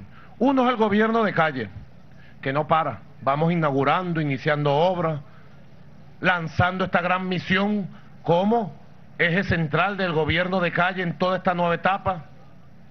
Otro tiene que ver con la organización de la victoria del 8 de diciembre. Ustedes saben todo lo que hicimos hoy, preparándonos. Yo manejo números, ustedes saben, curso números, inclusive manejamos números, números de los grupos opositores. Hoy se autoconvocaron a diversas marchas. Parece peligroso. Se han autoconvocado, trancaron las autopistas, etcétera, etcétera, financiados por Miami. No reconocen líderes en la oposición. Han salido miles de personas a las calles no reconocen a nadie en la oposición. Peligroso, porque sencillamente, bueno, esa trilogía del mal es puro bluff. Y es desconocida en todas sus partes por estos grupos que han salido, que están gritando golpe ya, porque ellos los enloquecen con su campaña permanente y después, como siempre, los traicionan. Porque ¿quién puede entender, díganme ustedes, de verdad, racionalmente, de manera sencilla y simple, si usted viene y dice, en Venezuela se hace fraude en elecciones, Maduro es un ilegítimo, Maduro se robó las elecciones, no reconozco a Maduro, o sea, yo no existo, pues, así dicen ellos, la trilogía del mal. Hay que derrocar a Maduro. Maduro no dura un mes, Maduro no dura dos meses, Maduro no dura tres meses, Maduro va a durar varios años, ¿oyeron? Anótenlo allá, trilogía del mal. Sigan, sigan creyendo en pajaritos preñados. Una cosa es creer en pajaritos cantores y otra cosa es creer en pajaritos preñados como creen ellos. Son cosas distintas. Que Maduro no dura, que esta es la semana, vete ya. No pasa del 9 de noviembre, decía. O sea que no pasaba de hoy, pues. Dios me proteja y me cuide. Cuide mi vida y cuide al pueblo de Venezuela. y cuide la paz que tenemos, es una paz con justicia, con igualdad. Entonces, si usted todos los días está diciendo eso, Maduro vete ya, Maduro ya se va, Maduro ya se fue, Maduro qué le pasa, todos los días, campaña de odio, de odio, es un bruto, maburro, bruto, bruto, bruto. Ellos son los inteligentes, pues, está bien. que siga el mundo así, ¿verdad? El mundo al revés. Entonces, ¿cómo, ¿cómo puede entender un ser humano normal que tenga un mínimo de racionalidad cuando dicen que el sistema electoral es fraudulento, mintiendo descaradamente, porque el sistema electoral más completo, transparente del mundo, más perfecto del mundo es el que tiene Venezuela. El más seguro del mundo, no hay otro, es Venezuela. Y lo sabemos los venezolanos que lo vivimos siempre, ¿verdad? Todas las seguridades que tienen. Sistema fraudulento es el que conocimos nosotros en la década del 70, 80. Ahí sí, como decía el comandante, recordando siempre, Kikiriki. Ustedes se acuerdan el cuento del comandante Chávez, con el Kikiriki. Así era, se repartían, ponían los tarjetones electorales uno sobre otro, estaban los testigos de Ade Copey, y si Ade había ganado en esa mesa, pongan ustedes 40-30, entonces AD se agarraba el 40% de los votos de los otros partidos que no tenían testigos allí. Y le daba a Copey, por eso es que ellos ganaban. Cuando tú sumabas los votos de AD Copey, daba 98%, 97%. Mentira. Y este pueblo rebelde en la calle luchando. Ah, no iba a sacar otro candidato 10, 15, 20%. José Vicente Rangel, que fue el candidato de la dignidad de la izquierda venezolana. ¿Cuánto le robaron? Terminaban las elecciones, no, José Vicente sacó 6%, 6%. Y José Vicente caminaba a las calles y el pueblo lo saludaba con respeto. No podía sacar 10, 15%, mire, lo peinaban, se lo robaban. Entonces esta gente dice que el sistema es fraudulento, pero inscriben candidatos. ¿Quién puede entender eso? Que el sistema es fraudulento, pero se la pasan en campaña electoral, entre comillas, recorriendo el país y gastando plata en campaña electoral. Si es fraudulento, ¿por qué participan, pues? Ah, nosotros sabemos por qué ellos participan. Participan porque no quieren perder aquellas alcaldías donde normalmente gana la oposición. Ah, no quieren soltar aquella cosa, pues. No quieren soltar para quedarse pegados ahí. Ah, seguir chupando la derecha, porque hay un grupo de electores en Venezuela que vota por ellos, pues. Y hay un grupo de alcaldías que ellos probablemente, probablemente, lo digo, pudieran mantener algunas, algunas de ellas, en sectores donde normalmente los electores votan por ellos.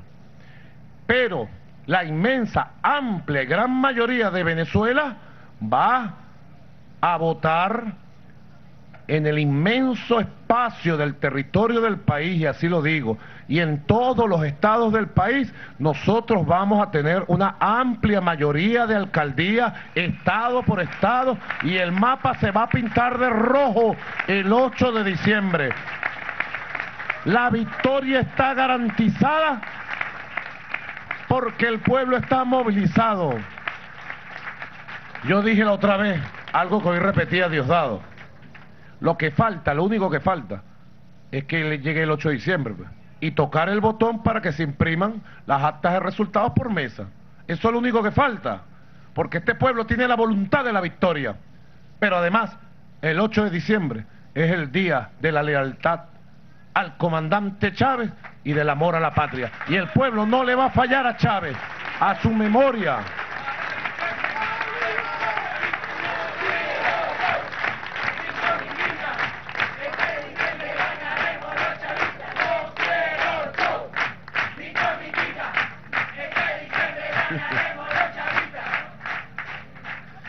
Así que bueno, fíjense los autoconvocados hoy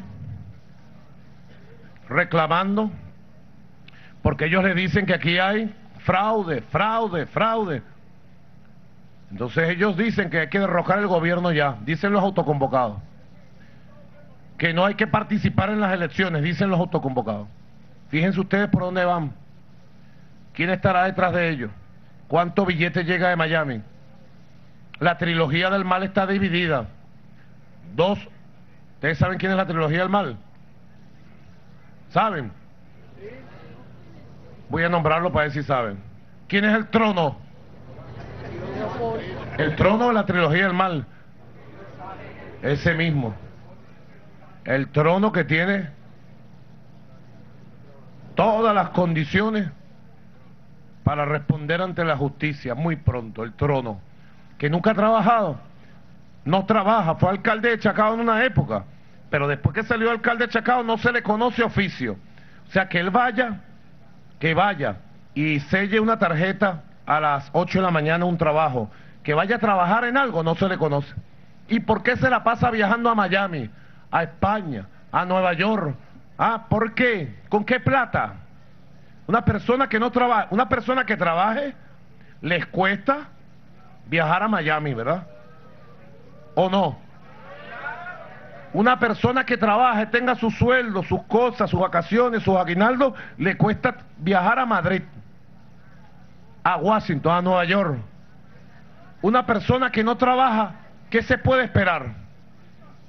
Ah, ¿de dónde saca la plata? Y llega a los hoteles seis estrellas más lujosos del mundo a conspirar.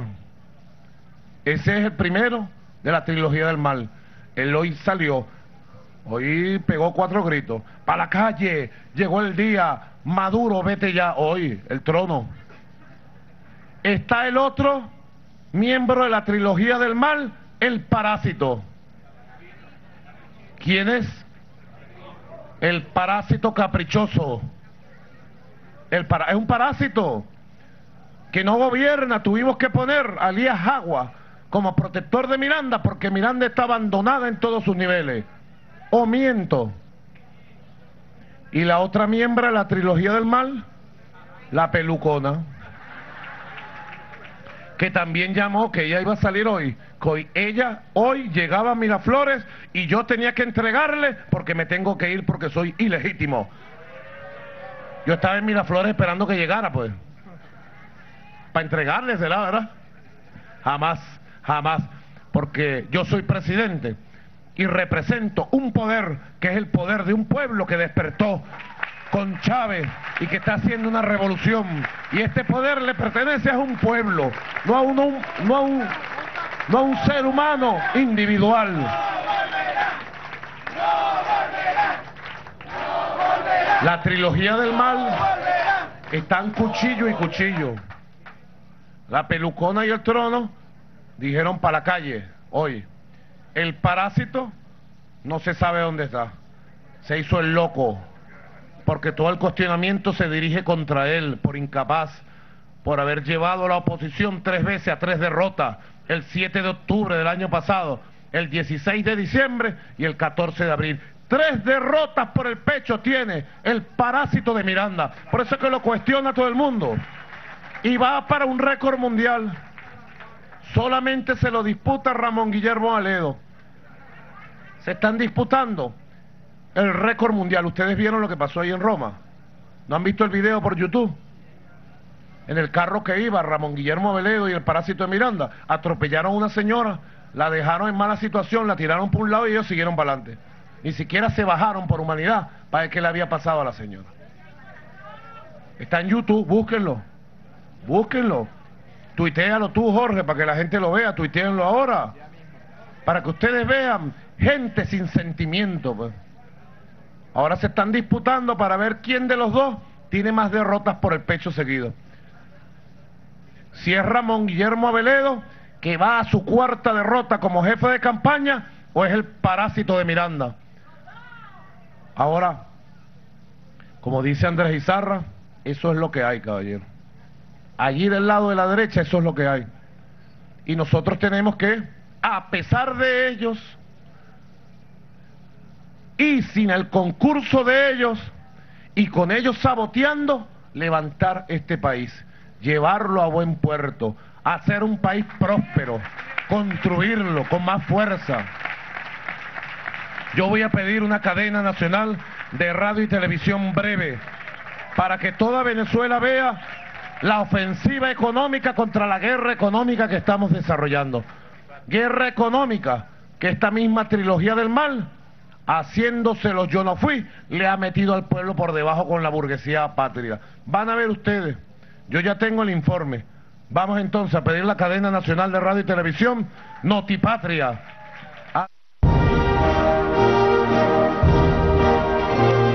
Este es un mensaje del gobierno de la República Bolivariana de Venezuela en cadena nacional de radio y televisión a través del satélite Simón Bolívar.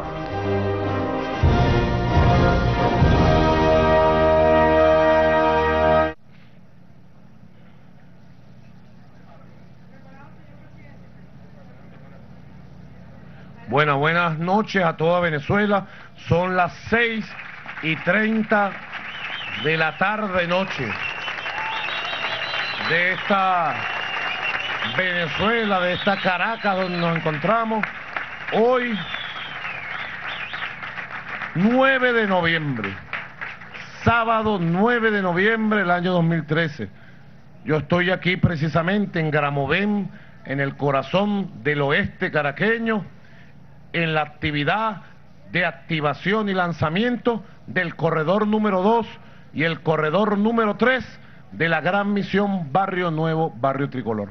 Y como lo anuncié apenas llegamos aquí, y ya lo había anunciado por el Twitter, voy a presentarle a Venezuela un balance de las primeras acciones que hemos tomado en contra de la especulación de la burguesía parasitaria y para proteger a todo el pueblo venezolano de la guerra económica que han desatado para destruir Venezuela, para desestabilizarla y para llevarla al caos.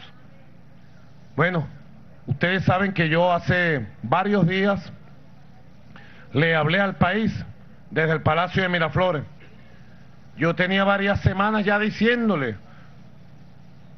como dicen, guerra avisada no debería matar soldados. Yo le dije a la burguesía parasitaria que creyendo que puede derrocar al gobierno revolucionario le hace el daño al pueblo de desatar la guerra de la especulación, la guerra del acaparamiento, la guerra del robo diario. Yo le dije, voy a que hemos hecho en los últimos en las últimas horas, pudiéramos decir, en las últimas 24 horas, es apenas la punta del iceberg de lo que voy a hacer para proteger al pueblo venezolano y lograr el equilibrio económico que Venezuela se merece. Venezuela se merece. Fíjense ustedes, yo lo denuncié bastante. Desde el norte, desde Estados Unidos, se nos declaró una guerra económica. Y ellos hablaban de octubre de colapso. Hablaban, hablaban de octubre colapso total. Ellos creían que nosotros no íbamos a cruzar de brazos o nos íbamos a asustar y el pueblo se iba a rendir. Aquí no se rinde nadie. Aquí el pueblo lo que está es listo para combatir, para construir, para luchar por su familia, por su futuro.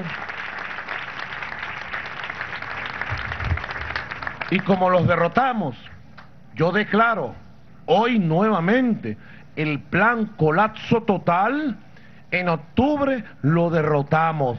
No permitimos el colapso y protegimos a nuestro pueblo. Lo protegimos. Yo multipliqué por dos las inversiones en alimentos, las ferias a cielo abierto, los mercal, mercalitos, para que nuestro pueblo tuviera su comida en su casa. Hemos hecho de tripas corazón. Ahora, lográbamos restablecer el abastecimiento de determinados productos y de pronto lo volvían a esconder. O, en algunos casos, como está empezando noviembre, diciembre, meses de los aguinaldos que están garantizados, comenzaba la especulación. Yo les voy a decir, de verdad, los informes que yo manejaba y la percepción que tenía es que la especulación era fuerte, pero no pensaba que era tan grave. De verdad se los digo, se los confieso, no pensaba que era tan grave lo que hemos descubierto en estas horas realmente, yo llamo al pueblo a estar pendiente, apoyando todas estas acciones. Hubo algunos acontecimientos en una tienda de electrodomésticos en Valencia. Uno entre mil tiendas que estamos revisando, almacenes, objetivos económicos, uno. Y yo me puse a pensar, ¿por qué se dio eso? Por desesperación. Yo llamo al pueblo a no caer en desesperación nunca, a no caer en provocaciones tampoco y a no dejarse infiltrar por gente que quiere propiciar alguna acción violenta, no. Ahora empezaron por Twitter y por allí con comentarios, Maduro es un saqueador, dicen desde Miami. Y aquí lo repite la trilogía del mal. Ustedes saben quién es la trilogía del mal, ¿verdad? Está muy claro quién es la trilogía del mal. Quienes dirigen todo este plan de destrucción económica y se esconden después y dicen yo no fui. Esa es la verdad verdadera. Yo no soy ningún saqueador, ni nuestro pueblo no es ningún saqueador. Aquí quien ha saqueado a Venezuela son ustedes, burgueses parasitarios. ¿Cómo se llama? El siguiente ejemplo. Aquí lo tengo. En el caso de la empresa DACA, la voy a nombrar con nombre y apellido, DACA,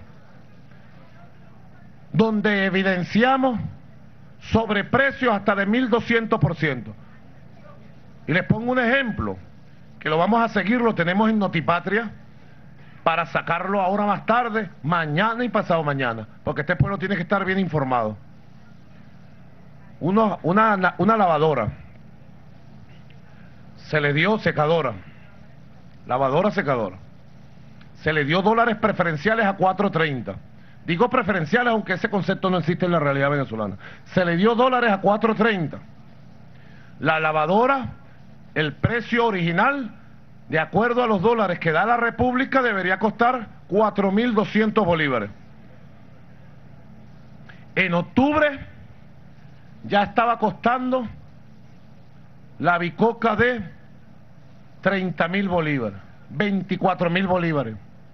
Y ayer, cuando llegó el ministro Alejandro Fleming, la consiguió en 47 mil bolívares, 1200% más.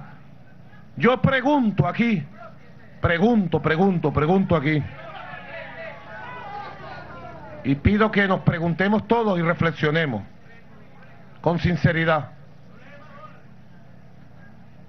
Con sinceridad. Esta es la economía que esta burguesía quiere para Venezuela. Es la primera pregunta que yo me hago.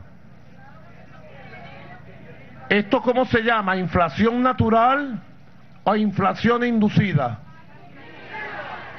Porque el Banco Central de Venezuela estudia la inflación, pero estudia, va para no sé cuántos miles de comercios y pregunta cuánto está costando tal producto. Banco Central de Venezuela, yo le pregunto a ustedes, además de ustedes preguntar cuánto cuesta el producto, también ustedes revisan por qué tiene ese precio, si es un precio justo, si es un precio inflado, si es un precio inducido para hacer daño. Hago estas reflexiones para que Venezuela vaya madurando cada vez más un pensamiento económico productivo, no podemos aceptar esta Venezuela de la inflación y la guerra inducida. Tenemos que ir construyendo una Venezuela productiva. Yo le pregunto a los empresarios que hacen estas prácticas y que viven de estas prácticas, ¿esta es la Venezuela que ustedes dicen querer y amar? ¿Esta es la Venezuela que ustedes quieren para sus hijos? Se los digo, muchos de estos empresarios están conectados con los planes de ir dañando la economía. ¿Cuál era el objetivo de este saqueo generalizado? Porque yo me pregunto, ¿quiénes son los saqueadores? Los que ponen un precio de una lavadora de cuatro mil bolívares a 47 mil de manera inflada para robar al pueblo o el pueblo que sale a apoyar a su gobierno y cuando el gobierno saca los productos los compra en paz. ¿Quién es el saqueador? ¿Quién saquea a quién?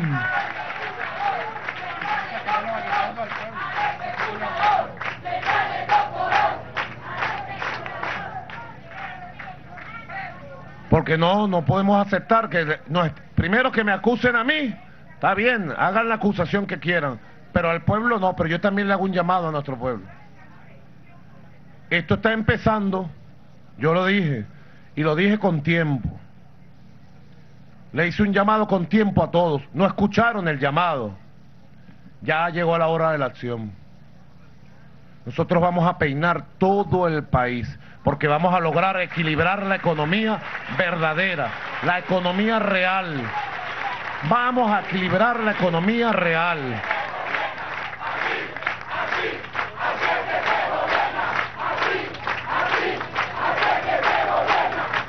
Vamos a equilibrarla, yo lo dije en la intervención de hace varios días. El objetivo central es proteger al pueblo y protegiendo al pueblo equilibrar la economía y lograr la creación de nuevas instituciones que ya anuncié. Y esta semana empiezo a activarla. Yo quiero felicitar a todo el Consejo de Ministros, de manera especial al ministro García Plaza, al ministro Alejandro Fleming, a la compañera Carlin Granadillo, al compañero Eduardo Samán y a todos los ministros de la economía por el despliegue que están haciendo. Ha empezado una guerra psicológica contra ellos, contra su familia, de los fascistas. Porque los fascistas ahí mismo empiezan a atacar a los hijos, a las hijas, a los familiares, a ellos. Pero nada nos va a detener a nosotros. Mira, ustedes pueden hacer las guerras que le dé la gana, por Twitter y recontra Twitter. Nosotros lo que vamos es para adelante. No le tenemos miedo ni a ustedes ni a nadie. Y vamos a cumplir plenamente nuestras funciones y responsabilidades de proteger a las mayorías tengo que ratificar el llamado al respeto de la ley, a todos y a todas, a la paz. Si usted ve llegar un grupo violento, persuádalo. Si no, para eso tenemos desplegado a la Policía Nacional Bolivariana, la Guardia Nacional Bolivariana, la Fuerza Armada en todo el país para proteger todo nuestro país. Allí donde lleguemos y comprobemos que hay una burguesía parasitaria saqueando al pueblo, ustedes saben, yo le estoy confiscando toda la mercancía y la estoy vendiendo a precios justos para el pueblo de Venezuela. Toda la mercancía. Pero eso sí, en paz. Como debe ser, en paz.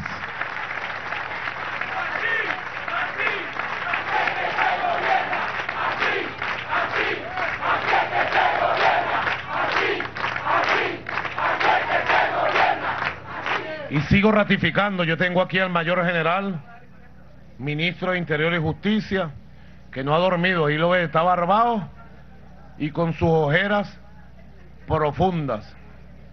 No ha dormido porque él ha tocado desde ayer, igual que la ministra Delcy, igual que a los jefes militares aquí presentes, que el general Padrino López, les ha tocado, nos ha tocado pues, la madrugada, en la mañana, en la tarde, monitorear la protección de todo el país. En Valencia hubo un hecho, ustedes saben, se controló inmediatamente.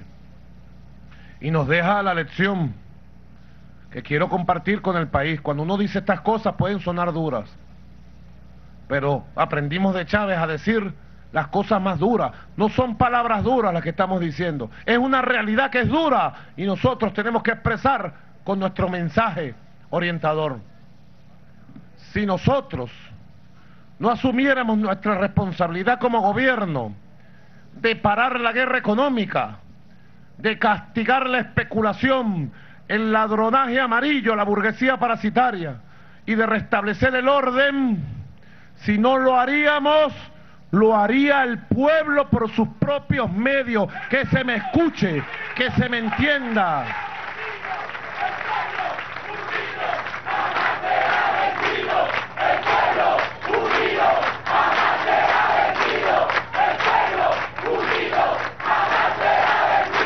La mayor garantía de paz, de estabilidad en este país somos nosotros. La unión cívico-militar que significa la revolución. Nunca antes Venezuela tuvo un gobierno con el amor, el respaldo de un pueblo organizado como hoy lo tenemos. el pueblo del 27 de febrero de 1989 es el pueblo que hoy hace la revolución en paz y quiere paz, paz y solo paz. Y está unido porque nunca antes había habido, desde la época de la independencia de Bolívar, nunca había habido una unión cimentada en valores, en confianza, en amor mutuo, en respeto, como la que hay hoy entre la Fuerza Armada y el pueblo. Y el gobierno es la síntesis de la unión cívico-militar. Estas reflexiones tienen que llegar. Tómenlas en cuenta con seriedad y responsabilidad, porque nosotros estamos hablando y somos la generación que nos tocó vivir el 27 de febrero en las calles y ver morir a amigos, a compañeros y compañeras. Somos la generación que acompañó la insurgencia del comandante Chávez del 4 de febrero de 1992. Somos la generación que vivió la persecución, la represión, la muerte, la negación de los derechos, el hambre, que vio cundir el hambre en nuestros barrios, la falta de educación, somos nosotros, los hijos y las hijas de Chávez, somos quienes vivimos eso y sabemos de lo que estamos hablando. Y el compromiso que tenemos con la paz y la estabilidad del país es de sangre, está jurado, es de vida, viene de atrás, lo hemos vivido y lo estamos viviendo. Por eso es que yo le hago un llamado a toda Venezuela. Este hecho fortuito que hubo en Valencia, bueno, fue superado rápidamente, pero es un indicador de dos cosas por lo menos. Uno, la desesperación en que puede entrar la gente y la rabia, ya lo vivimos hace años. Paz paciencia, confianza. Y dos, grupos infiltrados que pudieran estar tratando de tergiversar esta ofensiva económica. Yo lo he dicho bastante y lo dijo nuestro comandante amado, Hugo Chávez. Si algún día nuestro pueblo se saliera de cauce otra vez y desesperado se lanzara a las calles, no iría por mí, no iría por nosotros si algún día nuestro pueblo rebelde y redento se saliera del cauce y no escuchara la voz de paz nuestro y desesperado se lanzara a las calles, no sería a buscar a nosotros, gobiernos del pueblo, se iría a las calles como fuerza irredenta y no sabríamos las consecuencias. Y eso es lo que está buscando estos grupos de la trilogía del mal y el imperio estadounidense, que entremos en la pelea que ellos llaman desde Estados Unidos la pelea de perros, todos contra todos, y que el pueblo se lance, no quedaría ceniza sobre ceniza en el país. Ustedes lo saben, porque el pueblo que tenemos es más bravío y tiene más fuerza que nunca antes en la historia.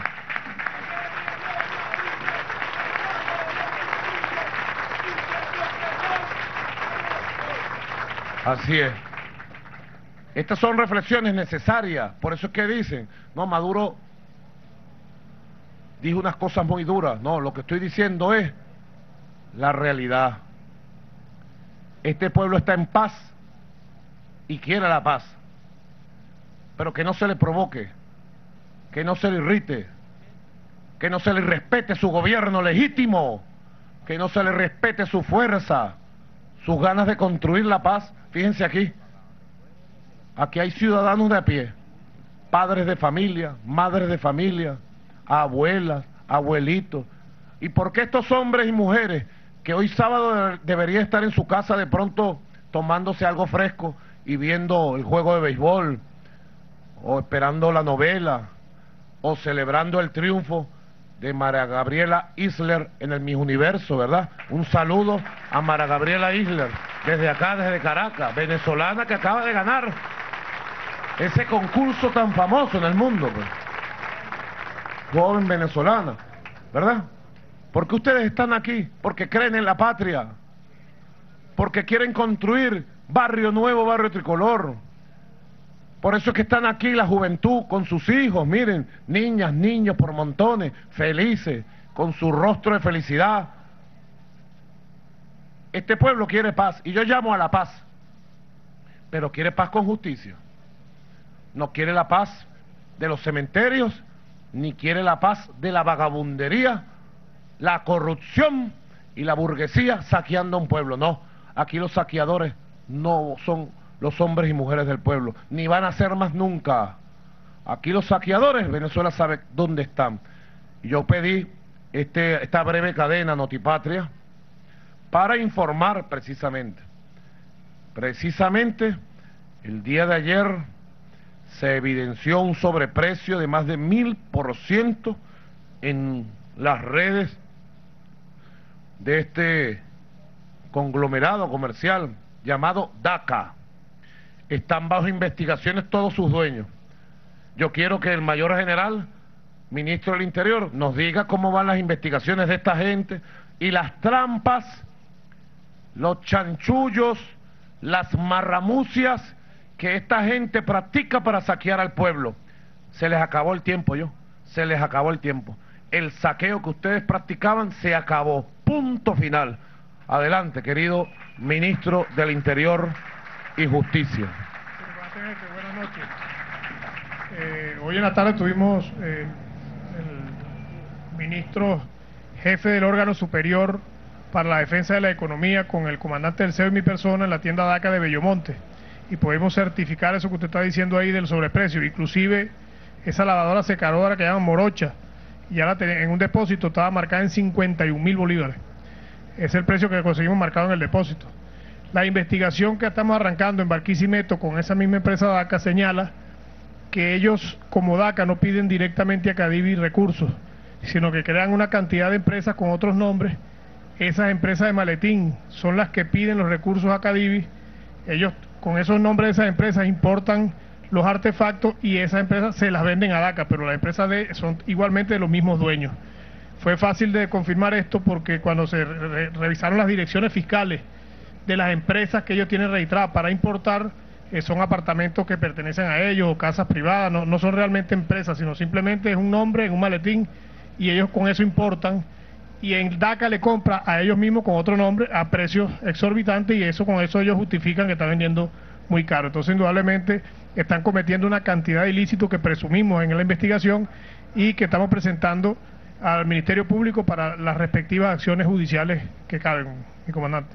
El pueblo quiere justicia. Justicia, justicia.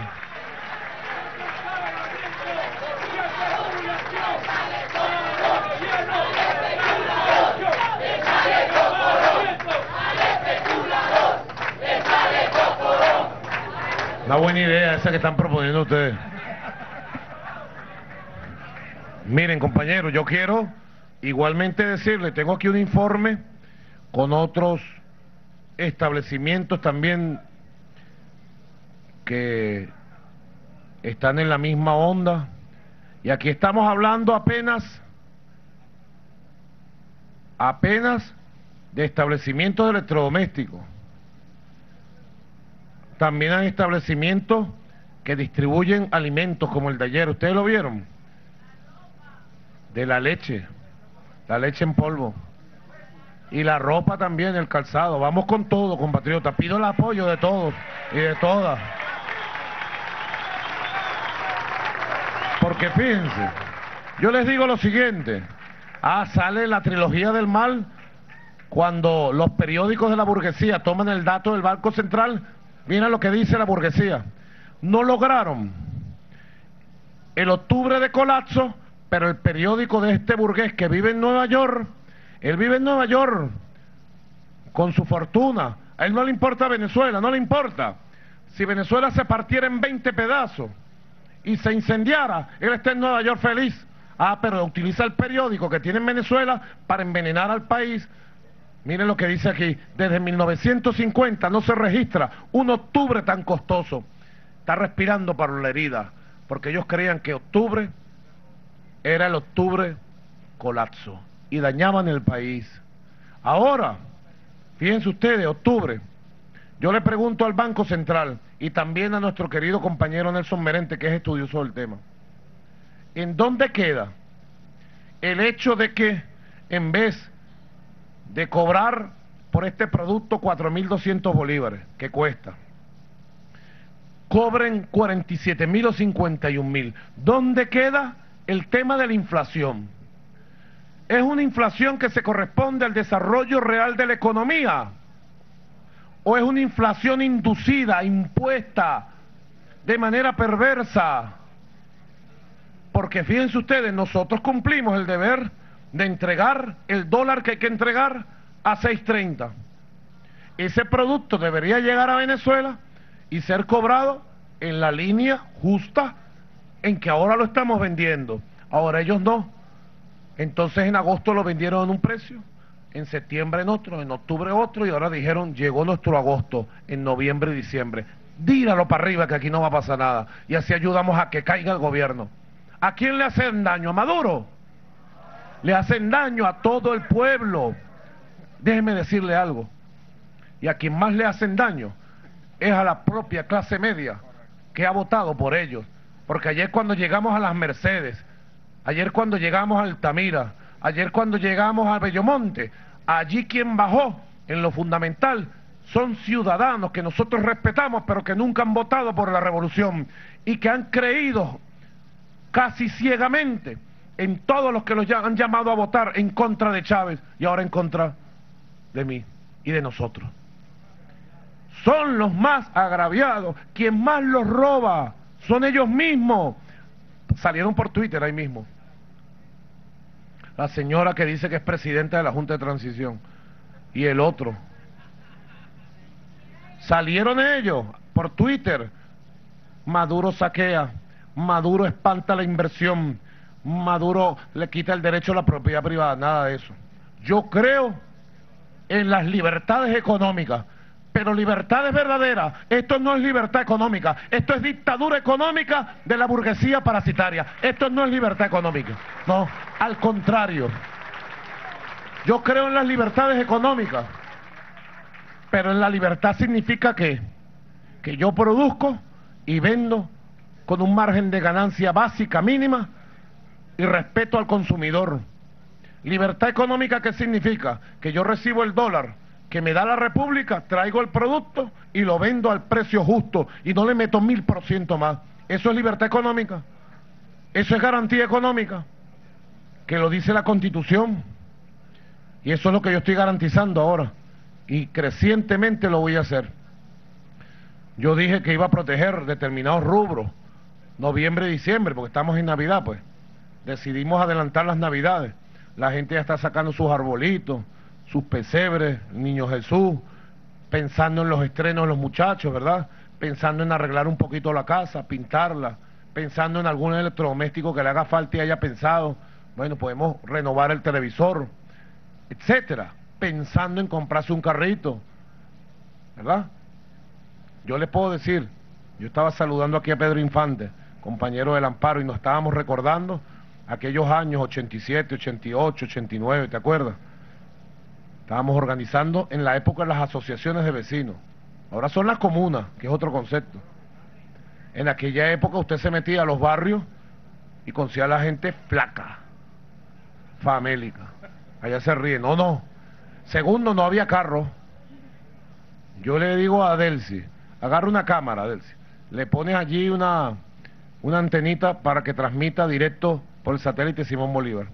En estos días yo me metí por el Atlántico por el Atlántico vas de San Martín al 23. Sale, sales aquí a la Silsa y sube hasta la estación Propatria y por ahí agarras para acá.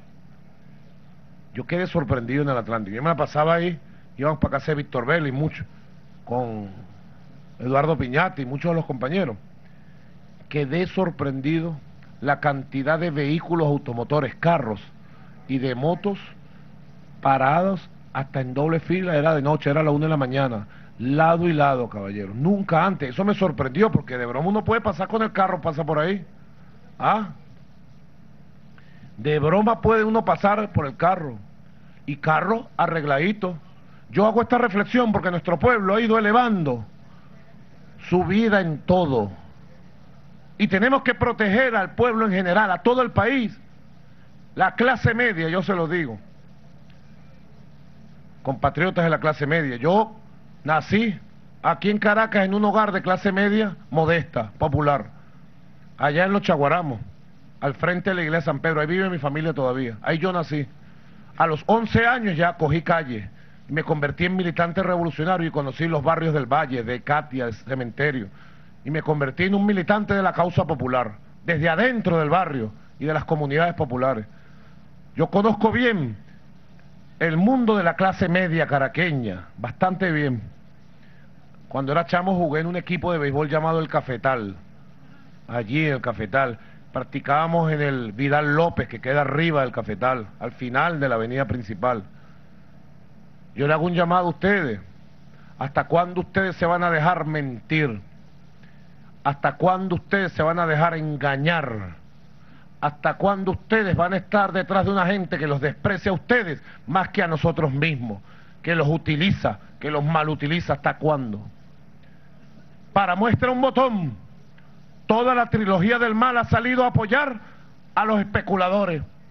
Son amigos carnales de todos los dueños de estos establecimientos. Tengo las pruebas, son amigos carnales, financian la política de estos sectores y se creen que tienen patente de corso para robar al pueblo de Venezuela. Yo le hago un llamado a esa clase media y a todo el país, a la conciencia, a que unamos esfuerzos y que en paz, con respeto a las leyes, a la constitución y en unión cívico-militar, sigamos la ofensiva económica completa. Todo noviembre, todo diciembre y recibamos un año 2014 de trabajo, de respeto a las leyes y de estabilidad económica. Vamos entonces, voy a hacer dos pases. El primero de ellos al ministro Alejandro Fleming. Allá se encuentra con Carlin, Carlín Granadillo, superintendente del SUNDECOP, con los inspectores del cuerpo de inspectores de la presidencia de la República. Yo tengo mil inspectores y les dije a los mil inspectores e inspectoras, paren lo que están haciendo y ahora nos vamos a concentrar. Estos mil inspectores presidenciales que están entrenados, que tienen su carnet presidencial, nos vamos a concentrar a este trabajo de la ofensiva económica contra la especulación y el acaparamiento. Él se encuentra, se encuentra en un local comercial bastante grande en los dos caminos, dos caminos, municipio Sucre, Estado Miranda, dos caminos, en un local comercial de una red de tiendas que se llama JBG. ¿Ustedes la conocen? JBG. Ahí en los dos caminos él me estaba ahorita contando la inspección, cómo ha resultado. Yo le pido a todos que la escuchemos bien y después, con tranquilidad, allí donde lleguemos y se compruebe, después vamos a anunciar cómo va a ser el plan de ventas. ¿Verdad? Para que nadie caiga en desesperación. No se vayan a dormir en la puerta de los establecimientos, no. Paciencia, confianza, tranquilidad, que vamos bien. Vamos bien y todos los días va a haber buenas noticias y buenas buenas sorpresas desde acá, desde Notipatria. Vamos a darle la palabra primero a Alejandro Fleming y luego estamos en Boleíta, en otra sorpresa. Allí está, fíjense ustedes, el general en jefe de nuestra Fuerza Armada Nacional Bolivariana, comandante estratégico operacional, compañero Vladimir Padrino López junto al ministro que es el jefe de toda la operación de defensa popular de la economía, compañero García Plaza. Pendientes porque en unos minutos también le vamos a dar la palabra para que ustedes le expliquen al pueblo venezolano la verdad, solo la verdad. Adelante, ministro. Alejandro Fleming. Buenas noches, presidente. Sí, como usted lo mencionaba, estamos en los dos caminos, en la tienda JBG. Usted hacía referencia al caso de DACA el día de ayer y específicamente a una lavadora secadora llamada comúnmente Morocha. Nos encontramos justamente con esta lavadora. Este es el modelo al que usted hacía referencia. Este modelo aquí, lo tenemos y podemos observar también la misma variación de los precios. Un aumento del 1000% también desde el mes de marzo. Le, le hemos pedido a los gerentes de la tienda que nos muestren facturas de este mismo modelo de lavadora secadora.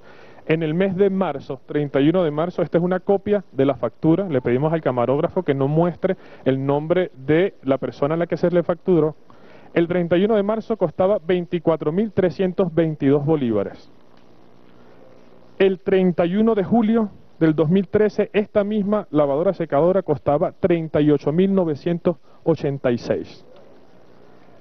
El 7 de octubre, esta misma lavadora, el mismo modelo, 43.665. El 2 de noviembre subió algunos 20 bolívares, 43.680. A principios de, noviembre, esta lavadora costó 66.000. Aquí tenemos la cifra, no sé si se podrá ver, está un poco en una tinta un poco claro, pero aquí podemos ver la etiqueta, al día de hoy, la lavadora secadora cuesta 54 mil. Esta lavadora el día de ayer costaba 66 mil. Después del procedimiento que se realizó en DACA, el día de ayer en la noche cambiaron los precios. Aquí se puede observar que la fecha es 9-11 del 2013, es decir, de la madrugada cambiaron, cambiaron los precios de los productos. En conclusión, presidente, esta empresa, JBG, nosotros presumimos, y escuchando al ministro Rodríguez Torres, que aquí ocurre lo mismo. Es una importadora con distintos nombres, se venden entre ellos mismos los productos y van aumentando los precios. Esa lavadora secadora es la misma, el mismo modelo que conseguimos en DACA el día de ayer, es la modelo WT3300XQ, cuesta 588 dólares, Cadivi le dio las divisas, divisa oficial, 630, cuesta en realidad 3.704 bolívares. Hoy, 9 de noviembre, la estaban vendiendo en 54.000 bolívares. Es la inflación que es producto de la usura, es la inflación que es producto de la especulación. Evidentemente, ese delito está consta, eh, se consta que se ha detectado aquí, aquí nos acompaña también el compañero de Cadivi, que está aquí presente, igualmente una compañera del Ministerio Público, está la compañera Carlín Granadilla, y los demás compañeros fiscales. Aquí, si la compañera Carlín me, apoya, están las divisas que se le otorgaron por Cadivi y aquí está, aquí nosotros conseguimos el modelo de esa lavadora secadora que evidentemente tiene los precios en dólares de lo que corresponde. Aquí, pues evidentemente podemos observar como de manera flagrante se están apropiando del salario de nuestro pueblo. Una economía fortalecida como la venezolana, presidente, es capaz de darle a nuestro pueblo y particularmente a nuestro pueblo trabajador aumento en su salario. Y no podemos permitir que comerciantes que no respetan las reglas de juego de la actividad comercial, que no respetan la constitución, que no respetan las leyes, se apropien del salario de nuestro pueblo. La usura, el delito de usura es un delito penal. La usura es comúnmente conocido por nuestro pueblo como robo. No podemos permitir, usted mismo lo ha dicho con contundencia, que la revolución, que el gobierno bolivariano no va a permitir que ningún comerciante que no respete las reglas de juego de nuestra democracia, de nuestra patria, se robe el salario de nuestro pueblo. Le devuelvo el pase, presidente.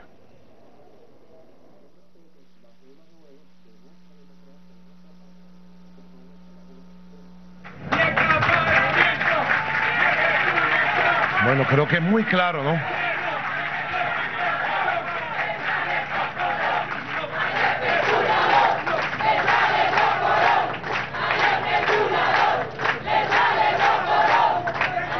Vamos a ver el proceso, pues. Uno, la República, con su actividad de la renta petrolera y económica, tiene los dólares. A través de Cadivi, ese dólar se le da al empresario. El empresario, entre comillas, en el mejor de los casos, trae el producto, porque hay otros que hemos mostrado que ustedes ven no trae nada. En este caso trae el producto. ¿Para qué damos los dólares? Para satisfacer las necesidades económicas y sociales del país, del pueblo, de la actividad económica, pues por eso es que se entregan dicen vamos a traer tantos electrodomésticos y nosotros vemos en el plan, hace falta que este año vengan tantos electrodomésticos, se están produciendo tantos, agarran el dólar, estoy más que seguro que hay que investigar a fondo, Rodríguez Torres con el SEBIN, 6CPC, hay que hacer un equipo especial de investigación. Salen a vender parte de esos dólares para meterse un poco de bolívares. Y después traen el producto y no respetan las regulaciones ni las leyes y son capaces de llevar un producto de 3 mil bolívares a 54 mil. Esto está muy por encima de lo que pensábamos que estaba pasando, de verdad. Y es apenas un botón que podemos mostrar de todo como está distorsionada, de manera inducida, perversa y malintencionada por la guerra económica, distorsionada estos factores de la economía. ¿Qué hacemos? Pues yo le pregunto al país, ¿qué hago? Cierro los ojos, me cruzo de brazos.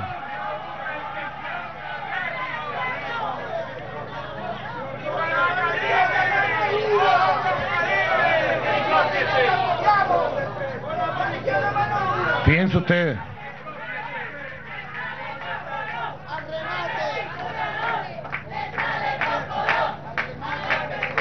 Así es, miren. Estamos haciendo lo que hay que hacer. Y yo le hago un llamado a todos los venezolanos a acompañar de manera disciplinada, subrayo la palabra, disciplinada y pacífica.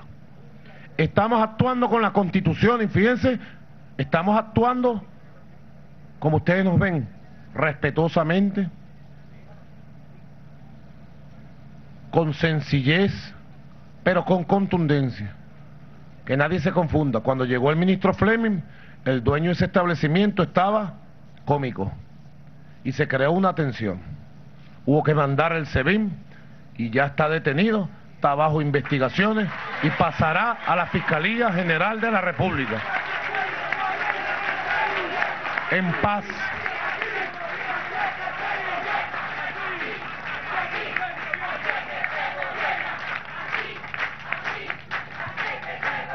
Yo le voy a dar la palabra ahora para que podamos ver allá, fíjense, en el establecimiento, en la avenida principal de Boleita, dos caminos está ahí mismo, pues. A un kilómetro será verdad la avenida. Bueno, es parte de la misma avenida. Allí principalmente quién compra. La clase media del este de Caracas, ¿verdad? Que son los que más roban. Son a quienes más roban Ojalá algún día les llegue desde nuestro corazón la verdad de quienes somos nosotros y nuestro mensaje. Ojalá. No supieron apreciar a Hugo Chávez en vida, que fue un extraordinario ser humano. Ojalá aprendan a apreciarnos a nosotros, que tenemos el corazón cristiano de nuestro comandante Chávez también. Y actuamos con sinceridad y amor por este país. Ojalá, ojalá lo hagan a tiempo. Aquí están quienes los roban. Todos están en el plan para caotizar Venezuela. Y nosotros vamos, miren, a buen paso se llega lejos. Aquí no hay desesperación de ningún tipo. A buen paso llegamos lejos. Avenida principal de Boleita, municipio Sucre, estado Miranda. Se ha inspeccionado un conjunto de establecimientos de algo que llaman Mundo Samira. Allá está García Plaza y nuestro general en jefe Padrino López, por favor, vamos a explicarle a Venezuela entera qué han encontrado ustedes y vamos a orientar al pueblo de qué vamos a hacer en el caso de las irregularidades que ustedes han encontrado. Adelante, García Plaza. Mi comandante jefe, buenas noches. Chávez vive, la, la patria sigue. Aquí me encuentro en el establecimiento Mundo Samira, acompañado del general jefe Padrino López. Lo mismo que ha estado sucediendo en esta serie de revistas de inspecciones que usted ha ordenado. De acuerdo a la instrucción que usted dio a partir del día martes en esta segunda fase, nosotros venimos acá por denuncia presentada por el pueblo a través del 0800.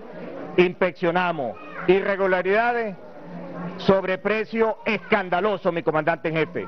Productos que ellos han venido subiendo de manera indiscriminada, sin ningún tipo de justificación, para volver cenizas el salario que esta gente que usted ve comprando acá, aquí está el pueblo llano, la clase media, comprando sus productos a precio justo, protegido por el gobierno del presidente Nicolás Maduro, presidente chavista, presidente obrero, humilde servidor de la patria, que sabe lo que es ganarse el sueldo para venirlo a despilfarrar aquí a precio inflado. Aquí mi comandante jefe, eh, de manera general podemos indicar que el sobreprecio alcanzaba hasta un 50%.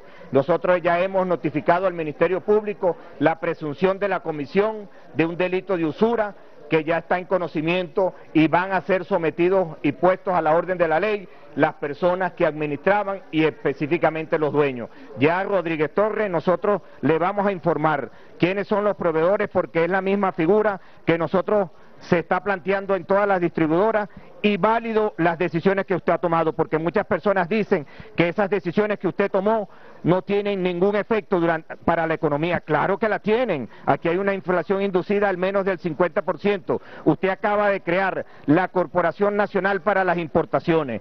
¿Qué va a permitir esa Corporación Nacional para las Importaciones?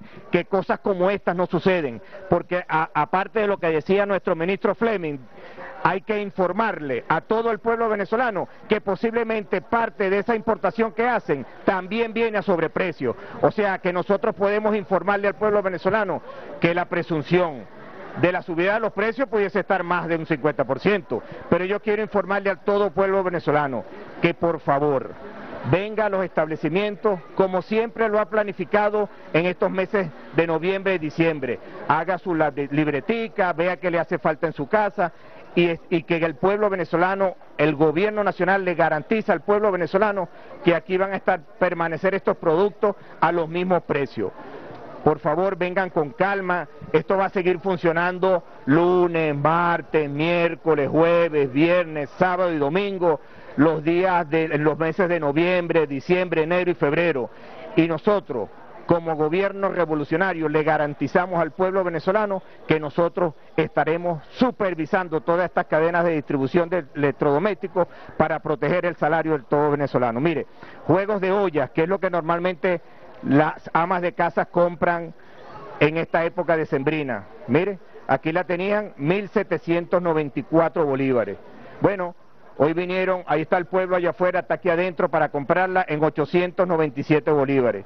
Una máquina de coser tan necesaria para el pueblo venezolano, para las amas de casa, la tenían en 7.459 bolívares, hoy la pueden tener en 3.729,50 bolívares. Adicionalmente, mi comandante en jefe, yo quiero decirle a José David Cabello, con sus funcionarios del CENIA, que aquí hay posiblemente una evasión de impuestos sobre la renta, de impuestos que con el cual se sostiene el gobierno nacional para mantener las misiones sociales. O sea, que tenemos un doble ilícito. Por todos lados, este tipo de, este tipo de empresarios que no apuestan al desarrollo nacional, sino a un negocio financiero, quieren hacer riqueza de manera rápida, con el, con el sacrificio de todo el pueblo venezolano. Mire, vea la, la felicidad del pueblo venezolano, allá los compañeros comprando a precio justo, como lo garantiza un gobierno bolivariano, mi comandante.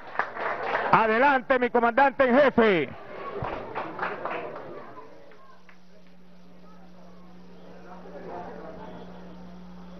Bueno, aquí también estamos aplaudiendo y riendo de alegría. Miren cómo aplaude igual que en Boleíta. Miren, nosotros tenemos que...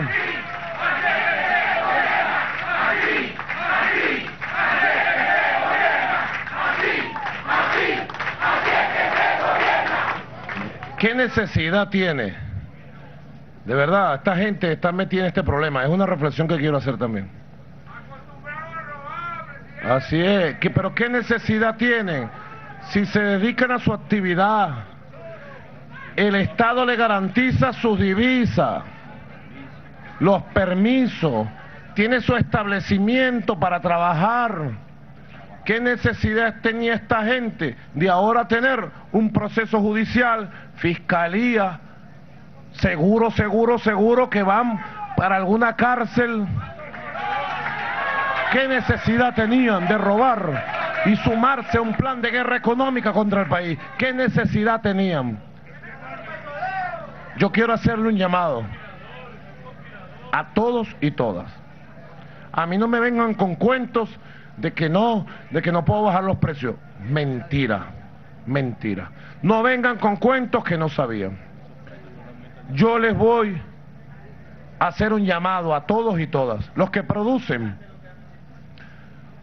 los que sirven de mayoristas y distribuyen, los que importan, los que venden, a todos y todas les hago un llamado. A todos. Reflexión, reflexión y más reflexión. Rectifiquen a tiempo. Ustedes pueden mantener sus actividades económicas tranquilamente, pero respeten los precios justos para el pueblo. Tienen una oportunidad que la vida se las da. Esta ofensiva económica va a continuar de manera sostenida todos los días. No digan que después no sabían. Miren, compatriotas, lo quiero decir muy suavecito también.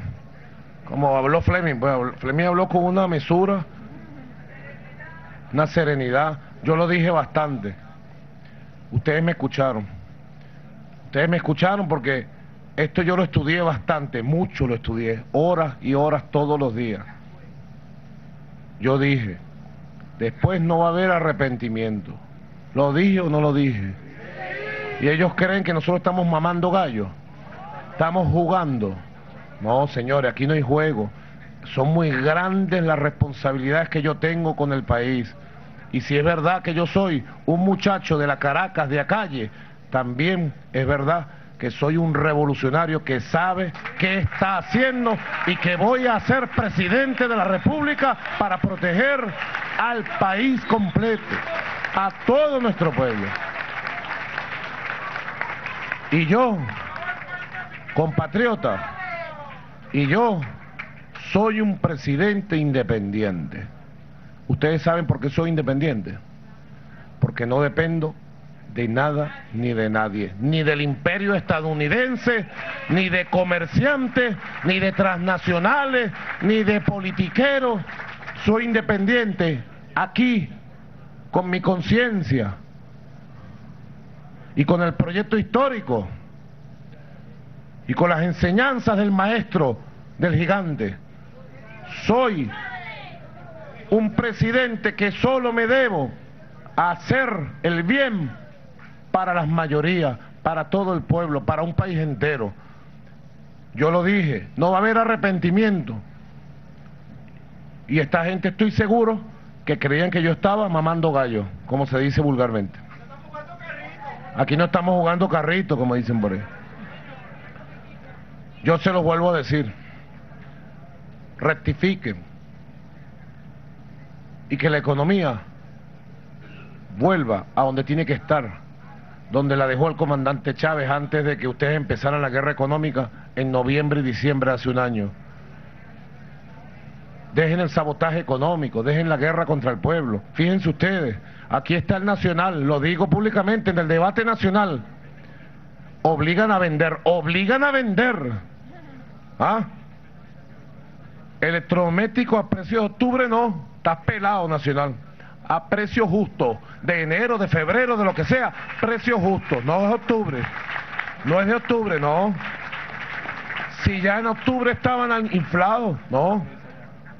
Mire, compañero Alejandro Fleming, Carlín, compañero Mayor General García Plaza, Vladimir Padrino López, general en jefe, todos los ministros, ministros, fíjense ustedes, más de la mitad del Consejo de Ministros está en los barrios hoy, activando gran misión, barrio nuevo, barrio tricolor. Y la otra mitad está en la ofensiva económica.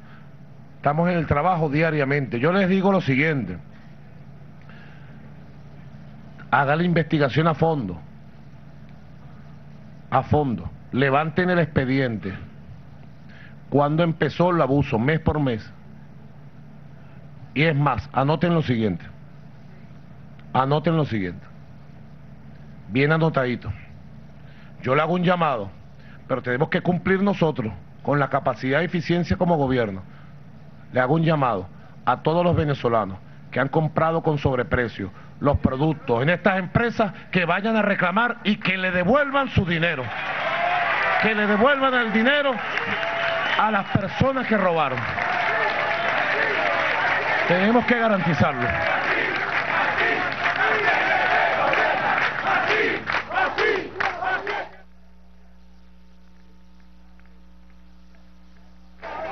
Así es. Así es. No, mire, y la otra cosa, yo le digo algo a los trabajadores y trabajadoras. Ayer salió esta persona que es de la trilogía del mal, ahí mismo, una de las, de las mujeres de la trilogía del mal, a decir que con estas medidas yo perjudicaba a los trabajadores. Yo creo que es al revés. Esos trabajadores son súper explotados. Les pagan salarios de miseria. Esos trabajadores, además de pagarles salarios de miseria, no les pagan aguinaldo. Usted decide si usted como empresario no es capaz de rectificar y usted como empresario quiere seguir la guachafita de robar al pueblo, usted decide. Aquí no voy a aceptar cierre de empresa. Empresa que usted cierre, empresa que le entrego a los trabajadores, para que ellos sí desarrollen una economía sana, sana de verdad. Alerta, alerta a los trabajadores, pues. Los trabajadores sí podemos respetar las reglas. Los trabajadores sí sabemos respetar al pueblo. Usted dice, pues, no hay arrepentimiento. Si usted quiere trabajar respetando las leyes, bienvenido. Quien sea, el que produzca, el que venda, el que tenga el comercio, el que importe. Si quiere respetar las leyes, bienvenido. Pero tenemos que restablecer los equilibrios del funcionamiento de la economía. Y yo le pido al Banco Central que tome nota, pues. Si nosotros estamos rebajando mil por ciento los productos, debería eso impactar la inflación de noviembre, de diciembre y el sabotaje económico de este año. ¿O no?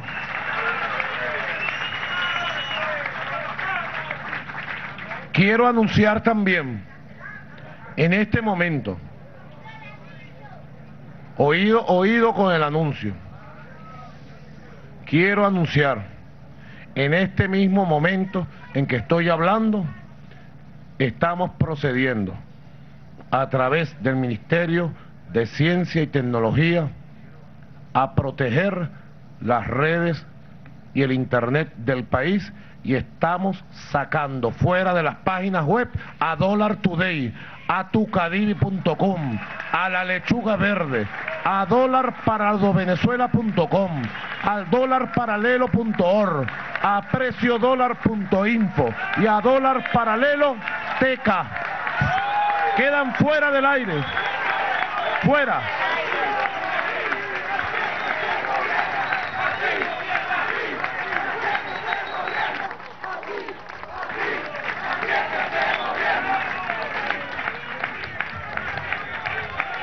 Porque fíjense,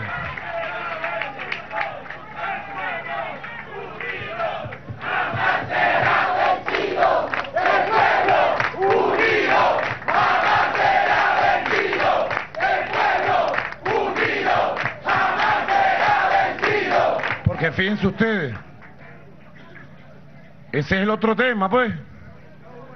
Estos tipos explican que ellos todos los días consultan el llamado dólar paralelo, que es un dólar fantasma, un dólar falso, que nos los han impuesto como parte de la guerra económica. Detrás de esto está Alberto Federico Rabel, Eligio Cedeño,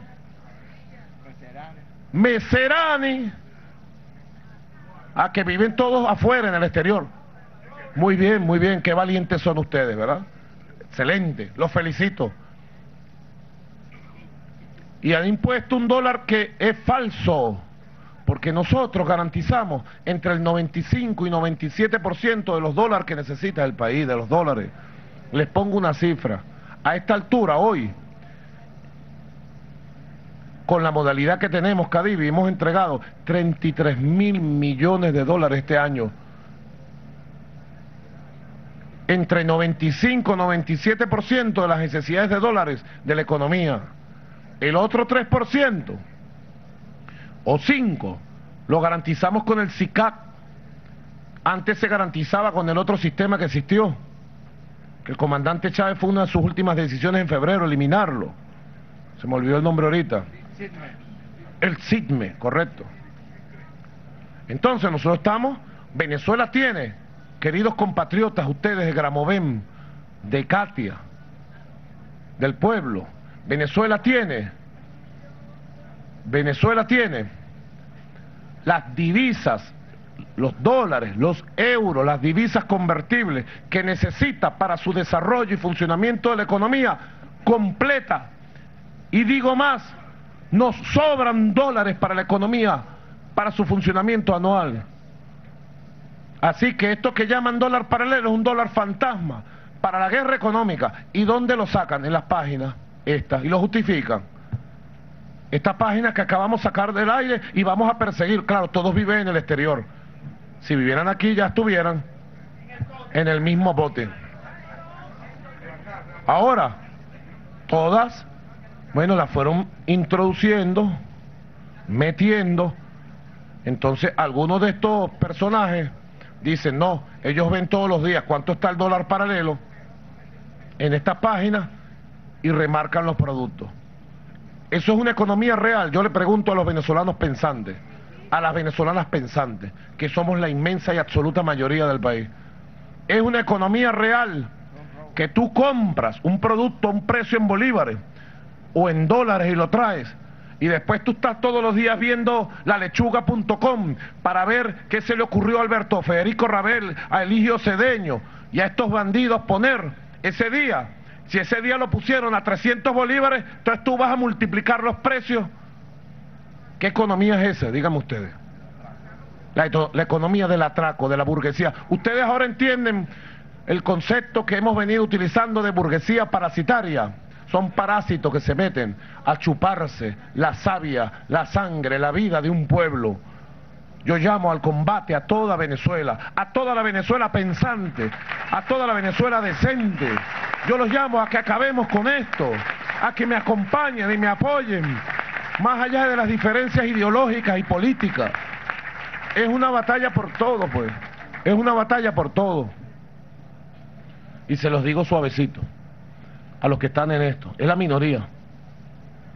Minoría, minoría, minoría. Si ustedes los contaran cuantitativamente, esta burguesía parasitaria no pasa de 5 mil personas. Y es mucho. Y somos 30 millones de venezolanos y de venezolanas.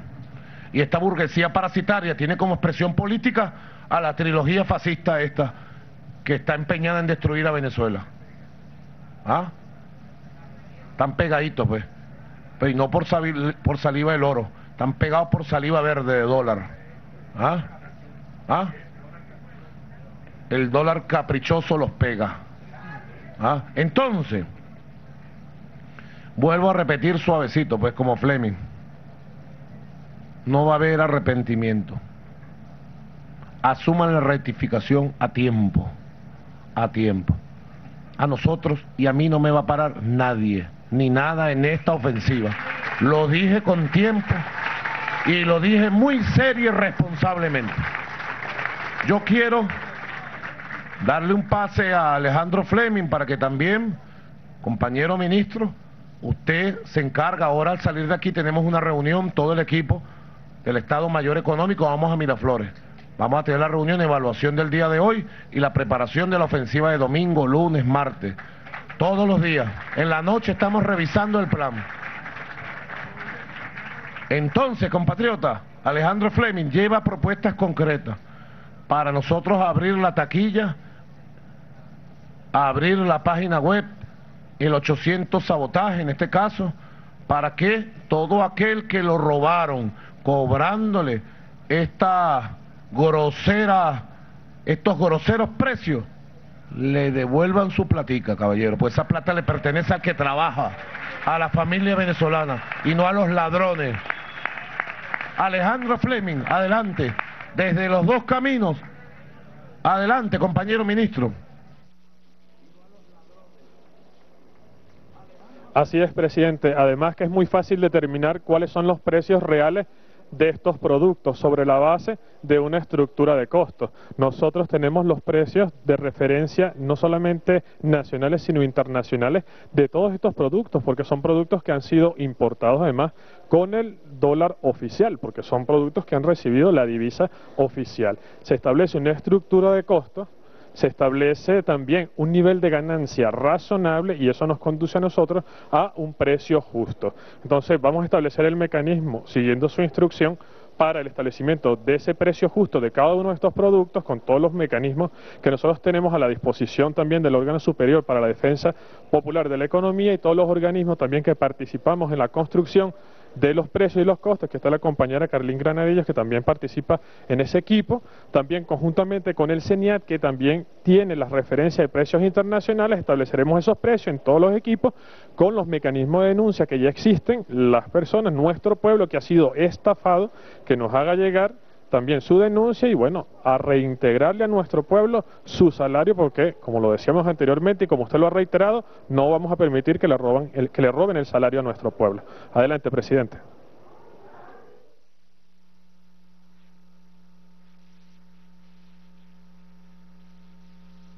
¿De qué día? ¿De qué año? Este 2005. Bueno, aquí está llegando Antonella Domínguez que nos quiere recitar una poesía. Antonella. Nació el día 11 de mayo.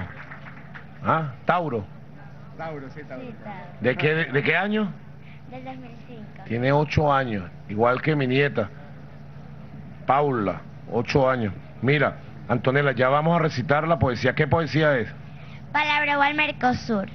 Ah, ya vamos a recitar. Yo quiero, antes de, y después una canción. antes de pasar con esta parte refrescante de esta batalla, darle la palabra al general Padrino López, general en jefe, comandante estratégico operacional de la Fuerza Armada, que está al mando directamente de toda la Fuerza Armada Nacional Bolivariana en la ofensiva económica contra la guerra de la burguesía parasitaria. Adelante, mi general en jefe.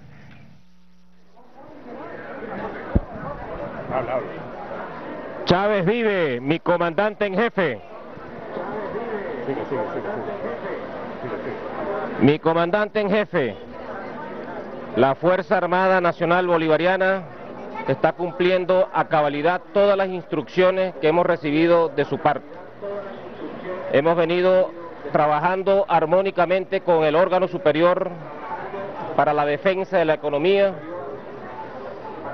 y hemos tenido una constante comunicación no solamente con los jefes de las regiones estratégicas de defensa integral, sino que también directamente con todos los comandantes de zonas operativas de defensa integral, quienes son los que están motorizando y operacionalizando conjuntamente con todas las instituciones intervinientes toda esta ofensiva que usted acertadamente ha lanzado para recuperar la estabilización económica y para un objetivo sublime que usted se planteó y por la cual todos los soldados de la Fuerza Armada Nacional Bolivariana se han volcado a las calles.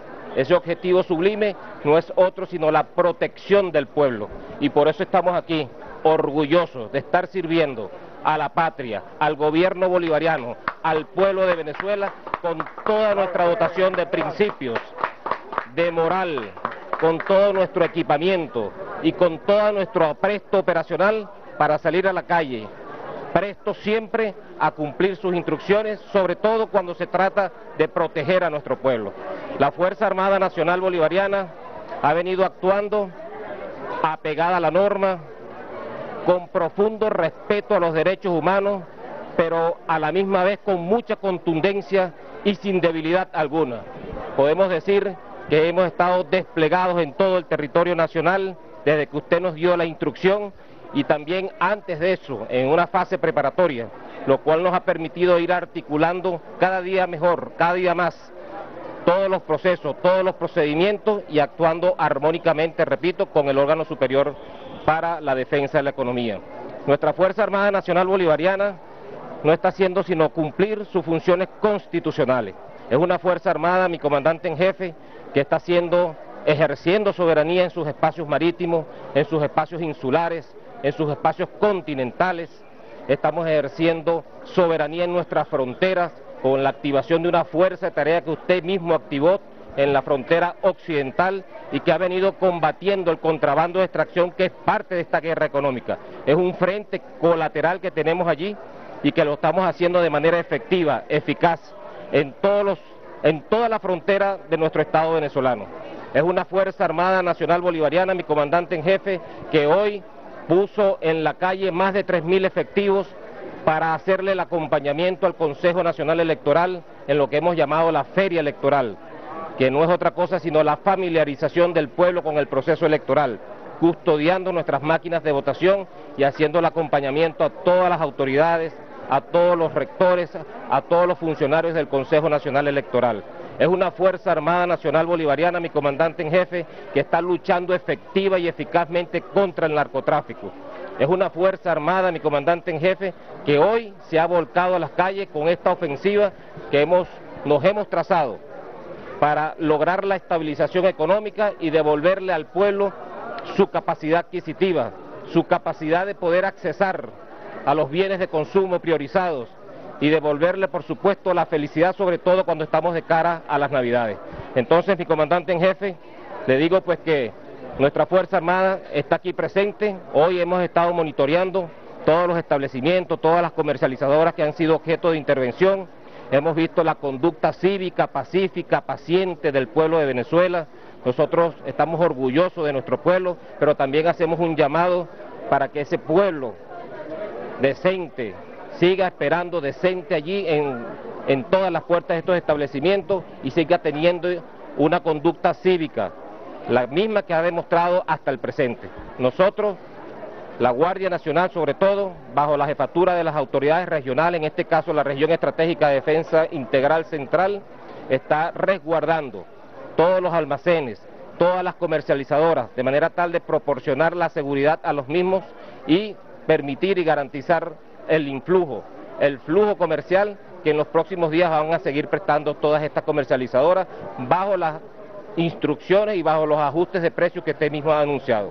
La Guardia Nacional está controlando la gente, está acompañando a la gente en, en las colas y estamos aquí presentes pues.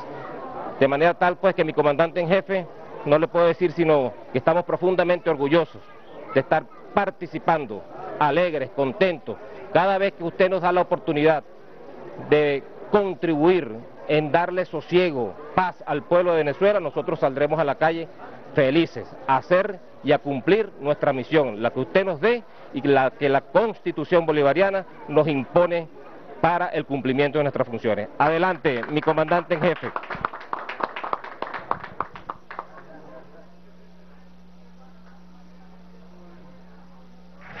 Extraordinaria reflexión y orientaciones de el comandante estratégico operacional de la Fuerza Armada, que de acuerdo al nuevo concepto estratégico de la Fuerza Armada y a la ley orgánica de nuestra Fuerza Armada, está al frente operacionalmente de toda nuestra Fuerza Armada, a través de las redes, las regiones estratégicas de defensa integral, a través de las SODI, las zonas de defensa integral.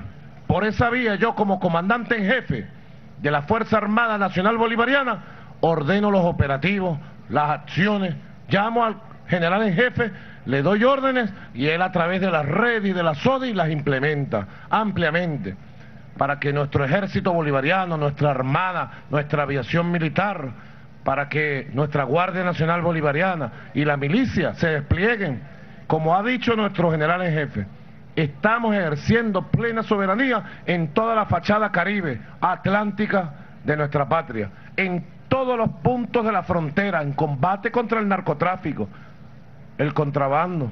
Ahí salió esta derecha entonces a criticarnos que estamos protegiendo con los Sukhoi y F-16 del narcotráfico los cielos venezolanos. Ya se acabó la guachafita. No vamos a aceptar que sigan utilizando el espacio aéreo de Venezuela para el narcotráfico. No lo voy a aceptar. No. Digan lo que digan donde lo digan.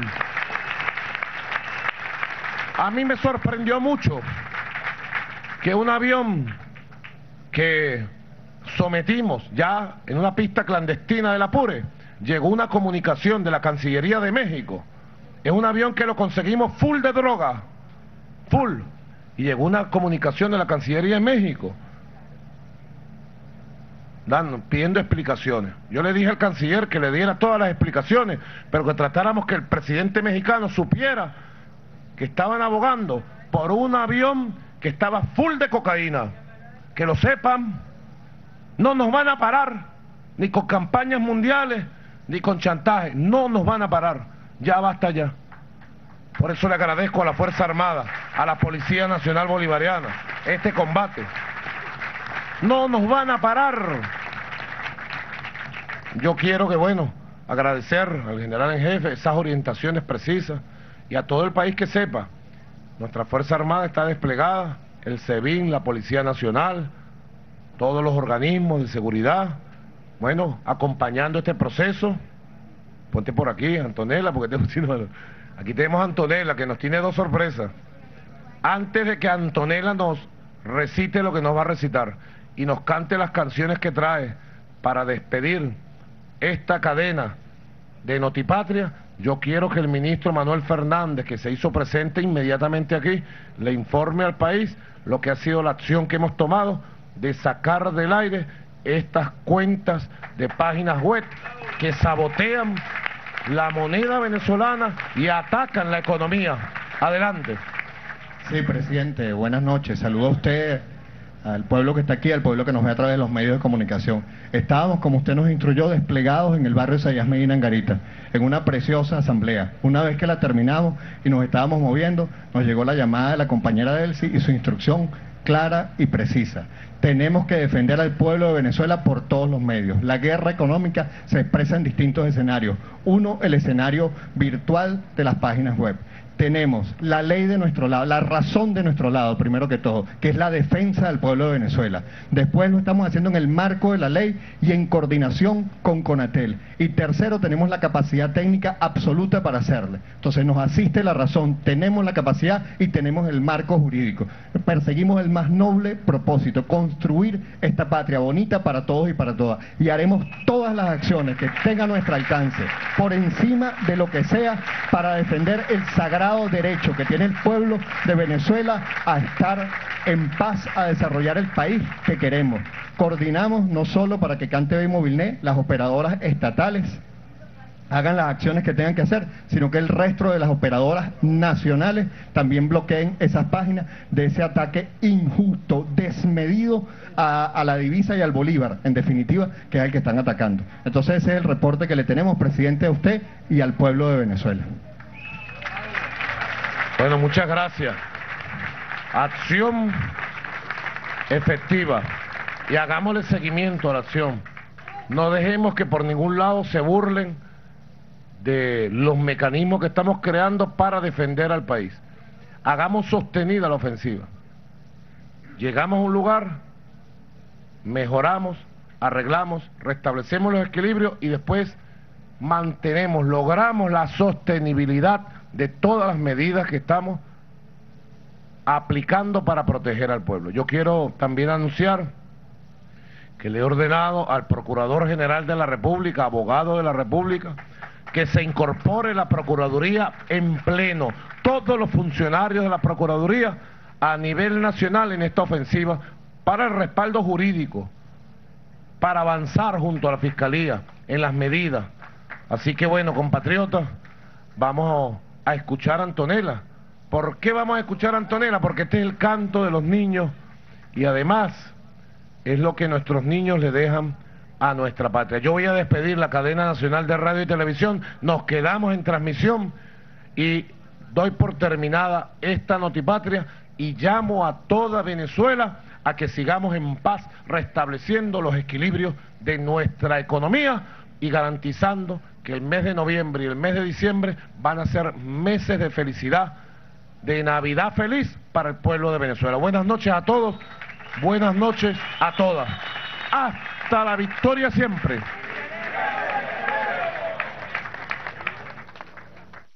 Esta fue una transmisión del Sistema Bolivariano de Comunicación e Información de la República Bolivariana de Venezuela.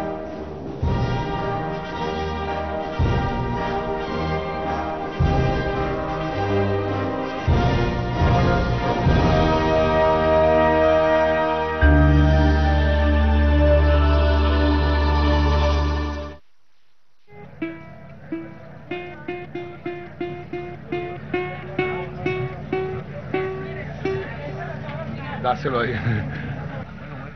Buenas noches, continuamos entonces en esta jornada de trabajo. Agradezco a toda Venezuela por la atención y bueno, sigo pidiendo que sigamos trabajando por proteger a estos niños. Estamos afinando el 4 para acompañar a Antonella en su poesía. Pero entonces yo le voy a pedir a Antonella primero que nos cante la canción a capela mientras afinan el 4 y yo la acompaño en su poesía, ¿verdad? ¿Están de acuerdo? Bueno, Antonella, con ustedes desde Katia, Antonella. La Marina tiene un barco, la aviación tiene un avión, Venezuela tiene a Chávez y nosotros la misión. Si Capriles quiere silla, que la haga de cartón, porque las de Miraflores son de la revolución.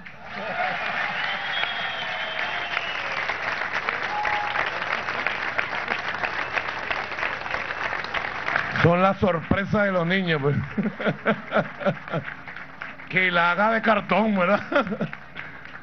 Mire, aquí está el 4, yo lo voy a acompañar entonces en la poesía que nos tiene. Tiene una poesía de Mercosur, me dijiste, ¿no?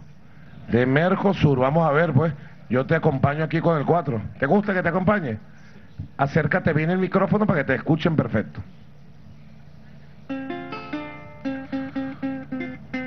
Para no seguir de.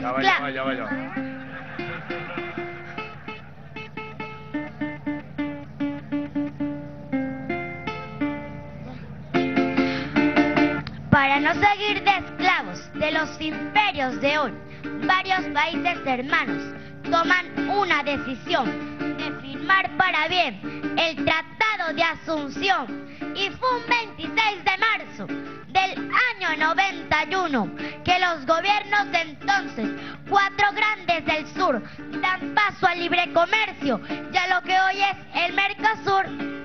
¿Cuáles son estos países?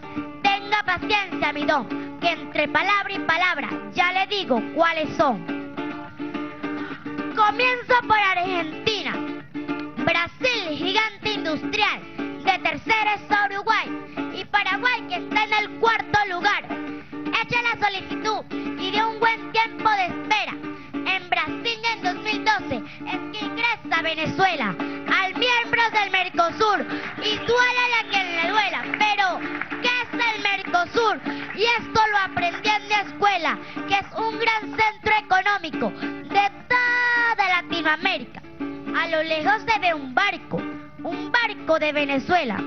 Va a repartir alimentos por toda Latinoamérica. Ay, Venezuela es tu miembro, Mercado Común del Sur.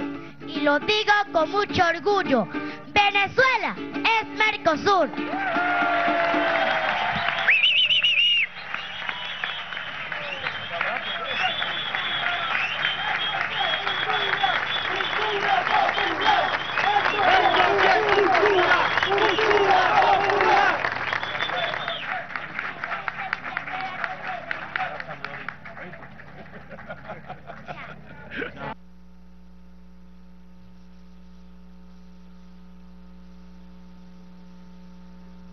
Ahí está con la tía. Saluda a la tía. Me dijo que tenías que hablar conmigo algunas cosas. Me acaba de decir ella. Seguro, ya vamos a hablar, pues. Bueno, esto nos le da alegría, ¿verdad? Refresca el alma, porque uno ve que lo que viene en nuestros niños es conciencia, amor, alegría, inteligencia, pasión. Ha valido la pena la lucha. Vale la pena la lucha y vamos a seguirla dando. Todavía tenemos por allá conectados a la Cirsa y a la Cubana.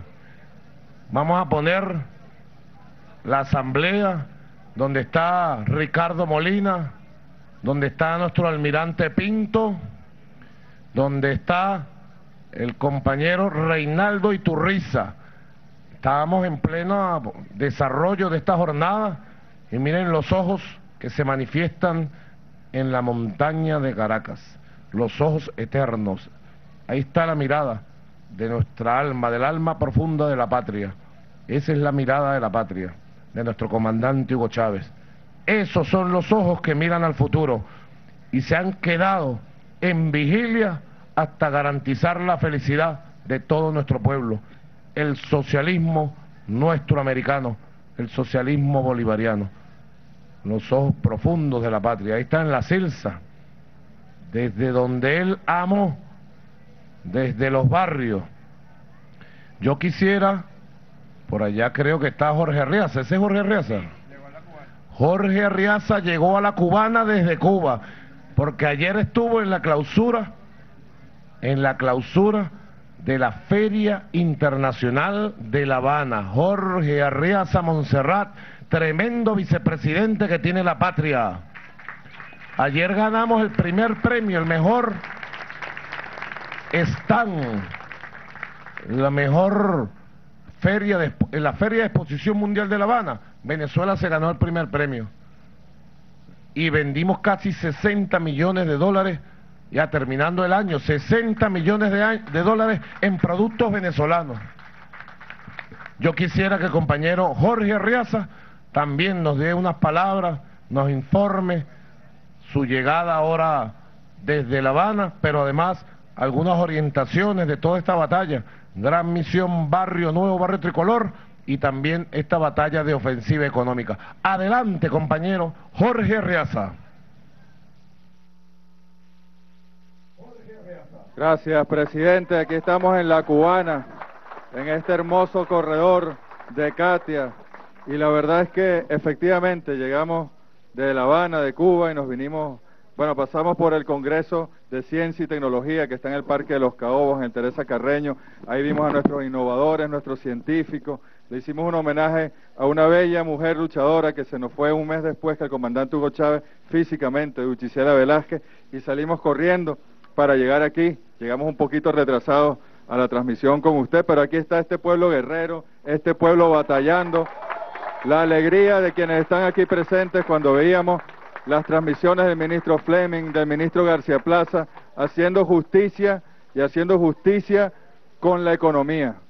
Las estructuras anquilosadas del capitalismo rentista, presidente Maduro, se están tambaleando, están temblando, porque nosotros hemos decidido, bueno, darle el revolcón necesario a la economía para avanzar como usted bien lo dijo, vamos a equilibrar transformando, no vamos a abandonar nunca el hacer lo nuevo, el innovar, el avanzar en la revolución bolivariana. Y esas guerras que son, bueno, todas simultáneas. Aquí estamos con el pueblo en Barrio Nuevo, Barrio Tricolor, una gran misión para darle dignidad y para promover la organización popular. Y ahí está la guerra económica en pleno desarrollo. Ayer allá en La Habana tuvimos la oportunidad de ver a esa nueva hegemonía económica que está surgiendo.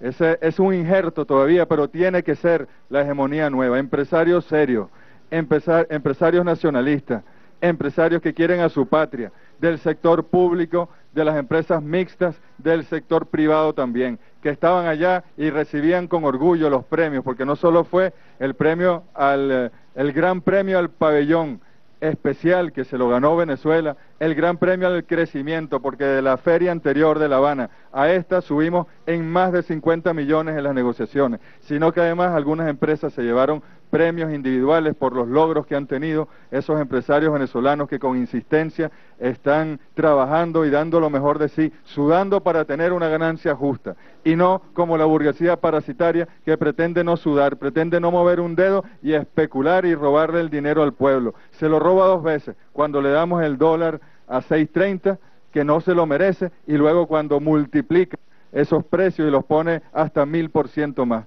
Nosotros le hemos hecho un llamado al pueblo a la calma, al pueblo a confiar en su gobierno, en su Fuerza Armada Nacional Bolivariana, aquí nos acompañan también, siempre está en todas partes la Fuerza Armada con la revolución. Y bueno, estamos tomando las medidas necesarias, medidas que van a ser justas en todos los casos, medidas que son las que el pueblo venezolano estaba esperando y que llegó el momento, pues. A la burguesía parasitaria le llegó su hora, se le terminó el pan de piquito, como dicen por ahí, y el pueblo de Venezuela lo apoya usted en esta batalla. Presidente Maduro apoya a nuestra Fuerza Armada y a todo el Consejo de Ministros que está en situación de batalla especial en todos los ámbitos, la batalla social, la batalla política, ahí bueno, vienen la situación de las elecciones, la organización popular, las maniobras para que la elección salga muy bien, el apoyo al Consejo Nacional Electoral y bueno, y la batalla económica que tenemos que darla, porque a fin de cuentas la construcción del socialismo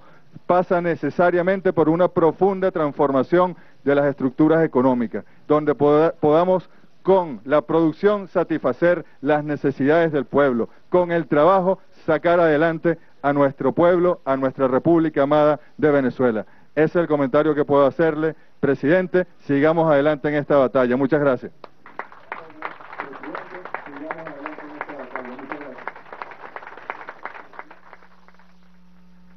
Bueno, muchas gracias, compañero Jorge Arreaza. Ahí está la mirada desde las montañas, desde algún lugar de las montañas del oeste de Caracas, los ojos del comandante Chávez, viéndolo todo, pues ahí está, que es decir, los ojos de un pueblo despierto, que no se va a volver a dormir jamás, y que jamás le fallará a Chávez. En los años y décadas que están por venir, nuestro pueblo cada vez practicará y valorará más y más el concepto de la lealtad suprema a quien le dio la vida, a quien le dio lo único que tenía que era su vida, Hugo Chávez, que le entregó todo a su patria, todo a su pueblo. Bueno, camarada, yo creo que vamos ya despidiendo por ahora esta jornada de trabajo espectacular. Sábado de gloria. Así que es tempranito todavía, 8 de la noche. Ve a ver qué van a hacer ahora. Está el sábado en pleno apogeo. Como no. Miren, mañana hay simulacro. Tiene... Me está recordando la compatriota. Mañana hay simulacro otra vez. Maniobra. Mañana es aquí, en el circuito 1. Invito a toda Venezuela, a las VC, a las maniobras electorales para garantizar la victoria del 8 de diciembre. Mire, yo les voy a poner, les voy a hacer una fotografía para terminar esta jornada de hoy, por ahora. Nosotros vamos a una reunión en Miraflores. Vamos a hacer el balance de la jornada de hoy y a preparar la ofensiva de domingo, lunes, martes, todos los días. Habrá sorpresa. No hay sector aquí que no vayamos a tocar. Todo, todo, todo, todo, todo lo vamos a tocar. Todo.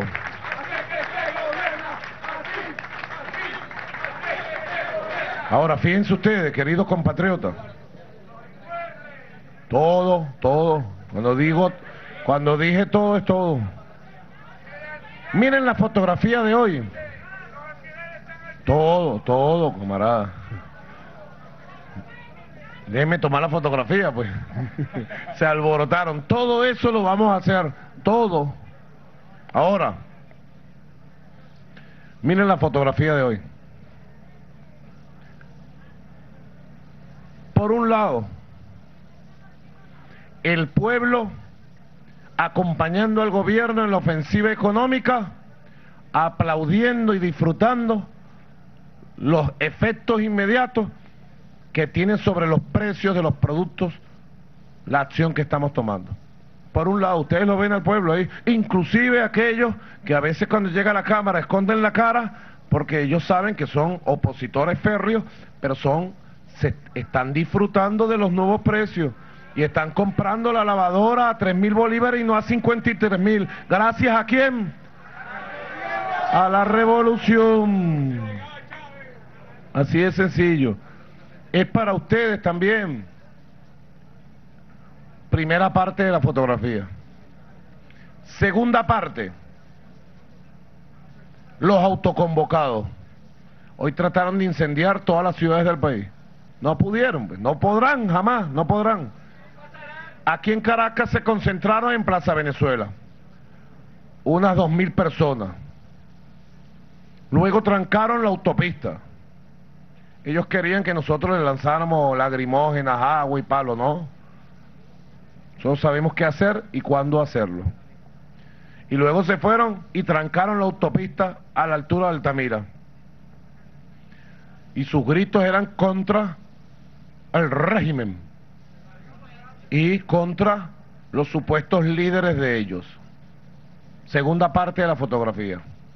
Los autoconvocados. Bueno, la primera parte también son autoconvocados, porque todos se autoconvocaron a DACA, al otro y al otro, ¿verdad? Creo que había más gente autoconvocada a DACA que en Plaza Venezuela. Los autoconvocados, segunda parte de la fotografía. Y la tercera parte de la fotografía, ¿cuál es? Nosotros aquí. El pueblo preparándose para la victoria. Mientras ellos andan perdiendo el tiempo, nosotros estamos trabajando, construyendo las fuerzas para una gran victoria el 8 de diciembre en todos los municipios de Venezuela, de nuestra patria, de nuestra patria. Somos combatientes, luchadores y vamos a nosotros a continuar el rumbo. Yo quiero agradecerle a ministros, ministras, jefes militares, compañeros de las misiones, a todo el pueblo, consejos comunales, al Partido Socialista Unido de Venezuela, gran pueblo patriótico.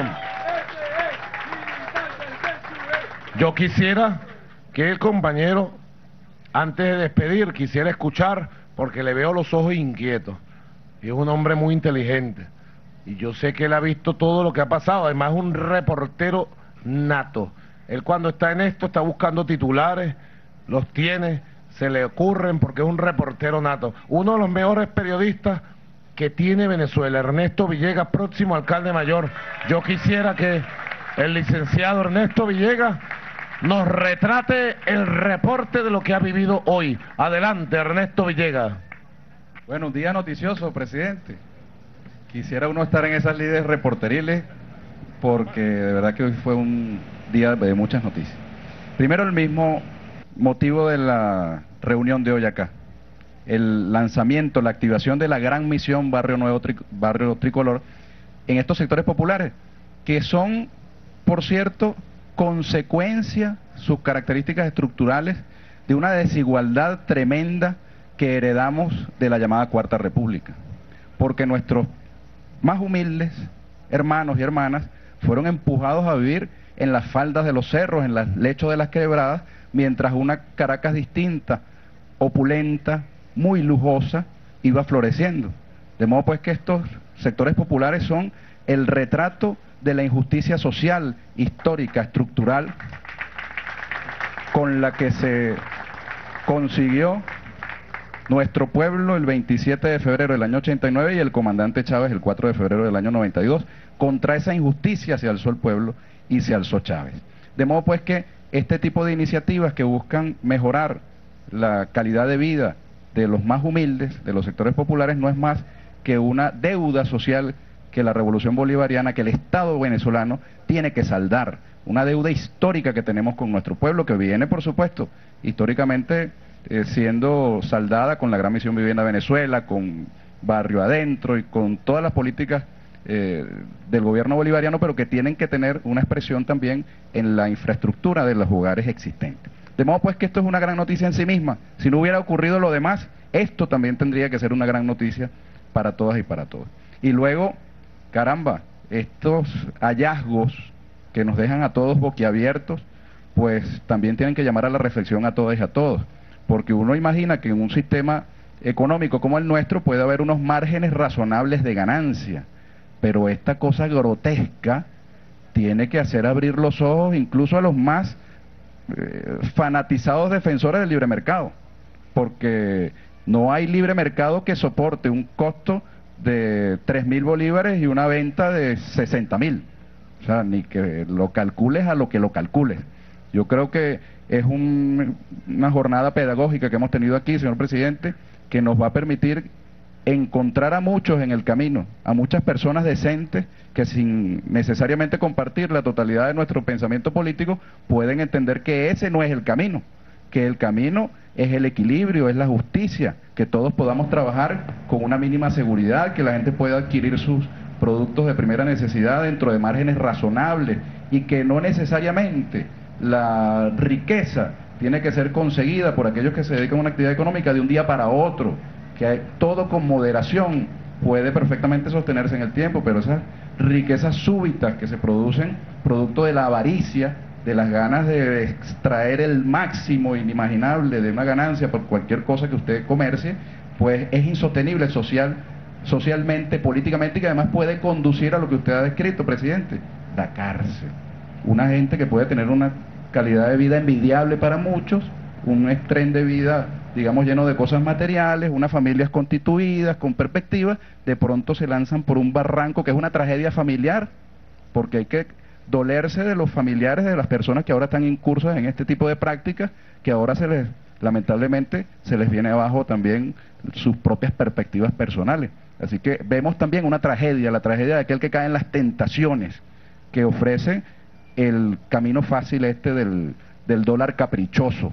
Yo creo que es una buena hora también, presidente, y con esto termino, para conseguirnos con la Venezuela productiva, con aquellos empresarios honestos que no andan buscando riquezas súbitas, sino trabajar, tener una perspectiva serena de, digamos, expansión de su producción, de apuesta realmente por el país y no por la especulación. El camino de la especulación no es bueno para nadie. Es un, un camino que puede ser como el de las drogas, de esas riquezas inmediatas que después terminan en una tragedia familiar con el narcotraficante preso tras la reja y los bienes confiscados por el Estado. Así que bueno, creo que es una buena lección pedagógica la que hemos tenido hoy acá y tre- mucho. tremendas reflexiones, ¿verdad? Fíjense ustedes, no solamente fíjense el nivel de madurez que va adquiriendo el liderazgo bolivariano del siglo XXI. Hombres como Ernesto Villegas, bueno, que viene de ser un reportero, pues. Yo conocí a Ernesto Villegas por allá por coche cuando era un chamito de la técnica. La técnica MacGregor. ¿verdad? Por allá también estaba mucho antes, muchísimo antes, aunque casi somos casi de la misma edad. Marla Muñoz, allá está Marla, mira. Marla fue quien me recibió a mí en el Liceo Ábalos como jefa de ruptura cuando yo tenía 14 años. Era jefa, Candela Marla, ustedes la verán ahí, muy pacífica, pero era Candela yo. Sigue siendo. Mira, Marla una vez salvó al gordo Juan Barreto. ¿Te acuerdas? Al gordo Juan Barreto lo estaban moliendo porque lo agarraron unos poli metropolitanos. Estábamos subiendo, nos habían reprimido en la avenida principal de ahí en el valle y nos metieron en el comunal y nos metimos hacia uno de los barrios por San Andrés. Íbamos caminando y Barreto era más flaco, pero era gordito de todas maneras. Iba corriendo Juan y lo agarraron, seis metropolitanas. Y nosotros estábamos de lejos, para salvarlo, bueno, teníamos que caminar no sé cuánto. Y le empezaron a decir que se arrodillara a, a Juan, se arrodillara. Y él no se iba a arrodillar. Y le empezaron a dar una pal, una paliza. Por la, por acá por la batata. ¿Cómo se llama esto aquí? La pantorrilla. ¿Músculo qué? Exactamente, la batata. Entonces, los músculos gemelos. Y bueno, cayó, Juan cayó. Y después cuando cae, arrodillado pues, le empiezan a dar por la espalda, por todos lados, lo iban a matar. Y estaba Marla con un grupo, y eso fue piedra y piedra y piedra y piedra, y echaron a andar y salvamos al gordo Barreto de esa circunstancia, ¿no? Así mataban a la juventud venezolana, año 75 fue eso, 76, ¿verdad? Así nos mataban. Y bueno, fuimos creciendo. Yo estudiaba en el mismo liceo con Vladimir Villegas, que a pesar de las diferencias políticas que hemos tenido en el último tiempo, el espacio natural de Vladimir, más temprano que tarde, es aquí, es la revolución, no es otro. Es mi opinión, pues, Vladimir, no te pongas bravo ahora. Vladimir era pana, Vladimir era el que traía el megáfono Cuando nosotros decíamos mañana vamos a hacer una marcha porque habían matado a un estudiante o alguna cosa, Vladimir se aparecía a las 6 de la mañana con un megáfono. Yo nunca en mi vida he visto un megáfono tan grande como ese. Nunca, nunca. Creo que lo habían traído a Alemania, una cosa así. O a la Unión Soviética. Era un bicho así. Y, o sea, uno hablaba y lo escuchaban dos mil, tres mil, cuatro mil estudiantes en la calle. Nosotros salíamos y las marchas eran grandes, hasta de seis mil estudiantes. Mucha gente de esa generación tiene que estar escuchando esto y recordando. Y solo con el megáfono de Vladimir le podíamos hablar a quien sea, pues. Y Vladimir llegaba con su megáfono. Lo llamábamos el llanero solitario, porque él aparecía y desaparecía con el megáfono. Y bueno, batallábamos, pues. Y de ahí ya estaba la Villeguera, pues. El viejo Villegas, el negro Villegas, el padre de Ernesto Villegas. Y de Vladimir, de Mario, de todos ellos. Revolucionario, comunista, hasta el último cromosoma. Y su madre también, que murió recientemente. Una familia de verdad ejemplar de nuestra parroquia Cochi. Miren cómo han madurado este líder nuevo de la Gran Caracas, que nos da orientaciones precisas. Ahora, yo le tengo una pregunta, vamos a ver si la pasa. Vamos a si pasa la pregunta. Yo le tengo una pregunta. ¿Cómo titularías tú mañana un periódico si te tocara, como fuiste hasta hace muy poco director de ese tremendo periódico que es un fenómeno, ha ganado premios nacionales e internacionales como es Ciudad Caracas? Si a ti te tocara hoy, tú estás al frente de la redacción y has visto toda esta ofensiva económica, política electoral, los autoconvocados, el otro, el otro, ¿cómo titularías tú para mañana? Presidente, ¿podría atreverme a un ejercicio de periodismo de predicción? ¿Mm? Porque también hay que decirlo, muchas veces los titulares de prensa pueden crear realidades virtuales que terminan eh, materializándose en la realidad. Si usted tiene un titular de prensa preconcebido para, por ejemplo, disparar el dólar, claro. usted puede hacer que eso sea una profecía autocumplida. Es decir, yo lo pronostico valiéndome de mi poder de creación de opinión pública y al pronosticarlo lo hago verdad. Y lo impongo. Y lo impongo. Pero yo pudiera hacer un, un titular predictivo que contribuyera a un objetivo nacional, que es que los precios bajen. Yo podría tener un titular grandote que, que diga los precios van para abajo. Más nada, pues, los comprar- precios van para abajo. Chávez vive. Independencia y patria socialista. Bueno, buenas noches a toda Venezuela. Sábado en la noche, todo el mundo a portarse bien. Buenas noches, pues. Hasta la victoria siempre.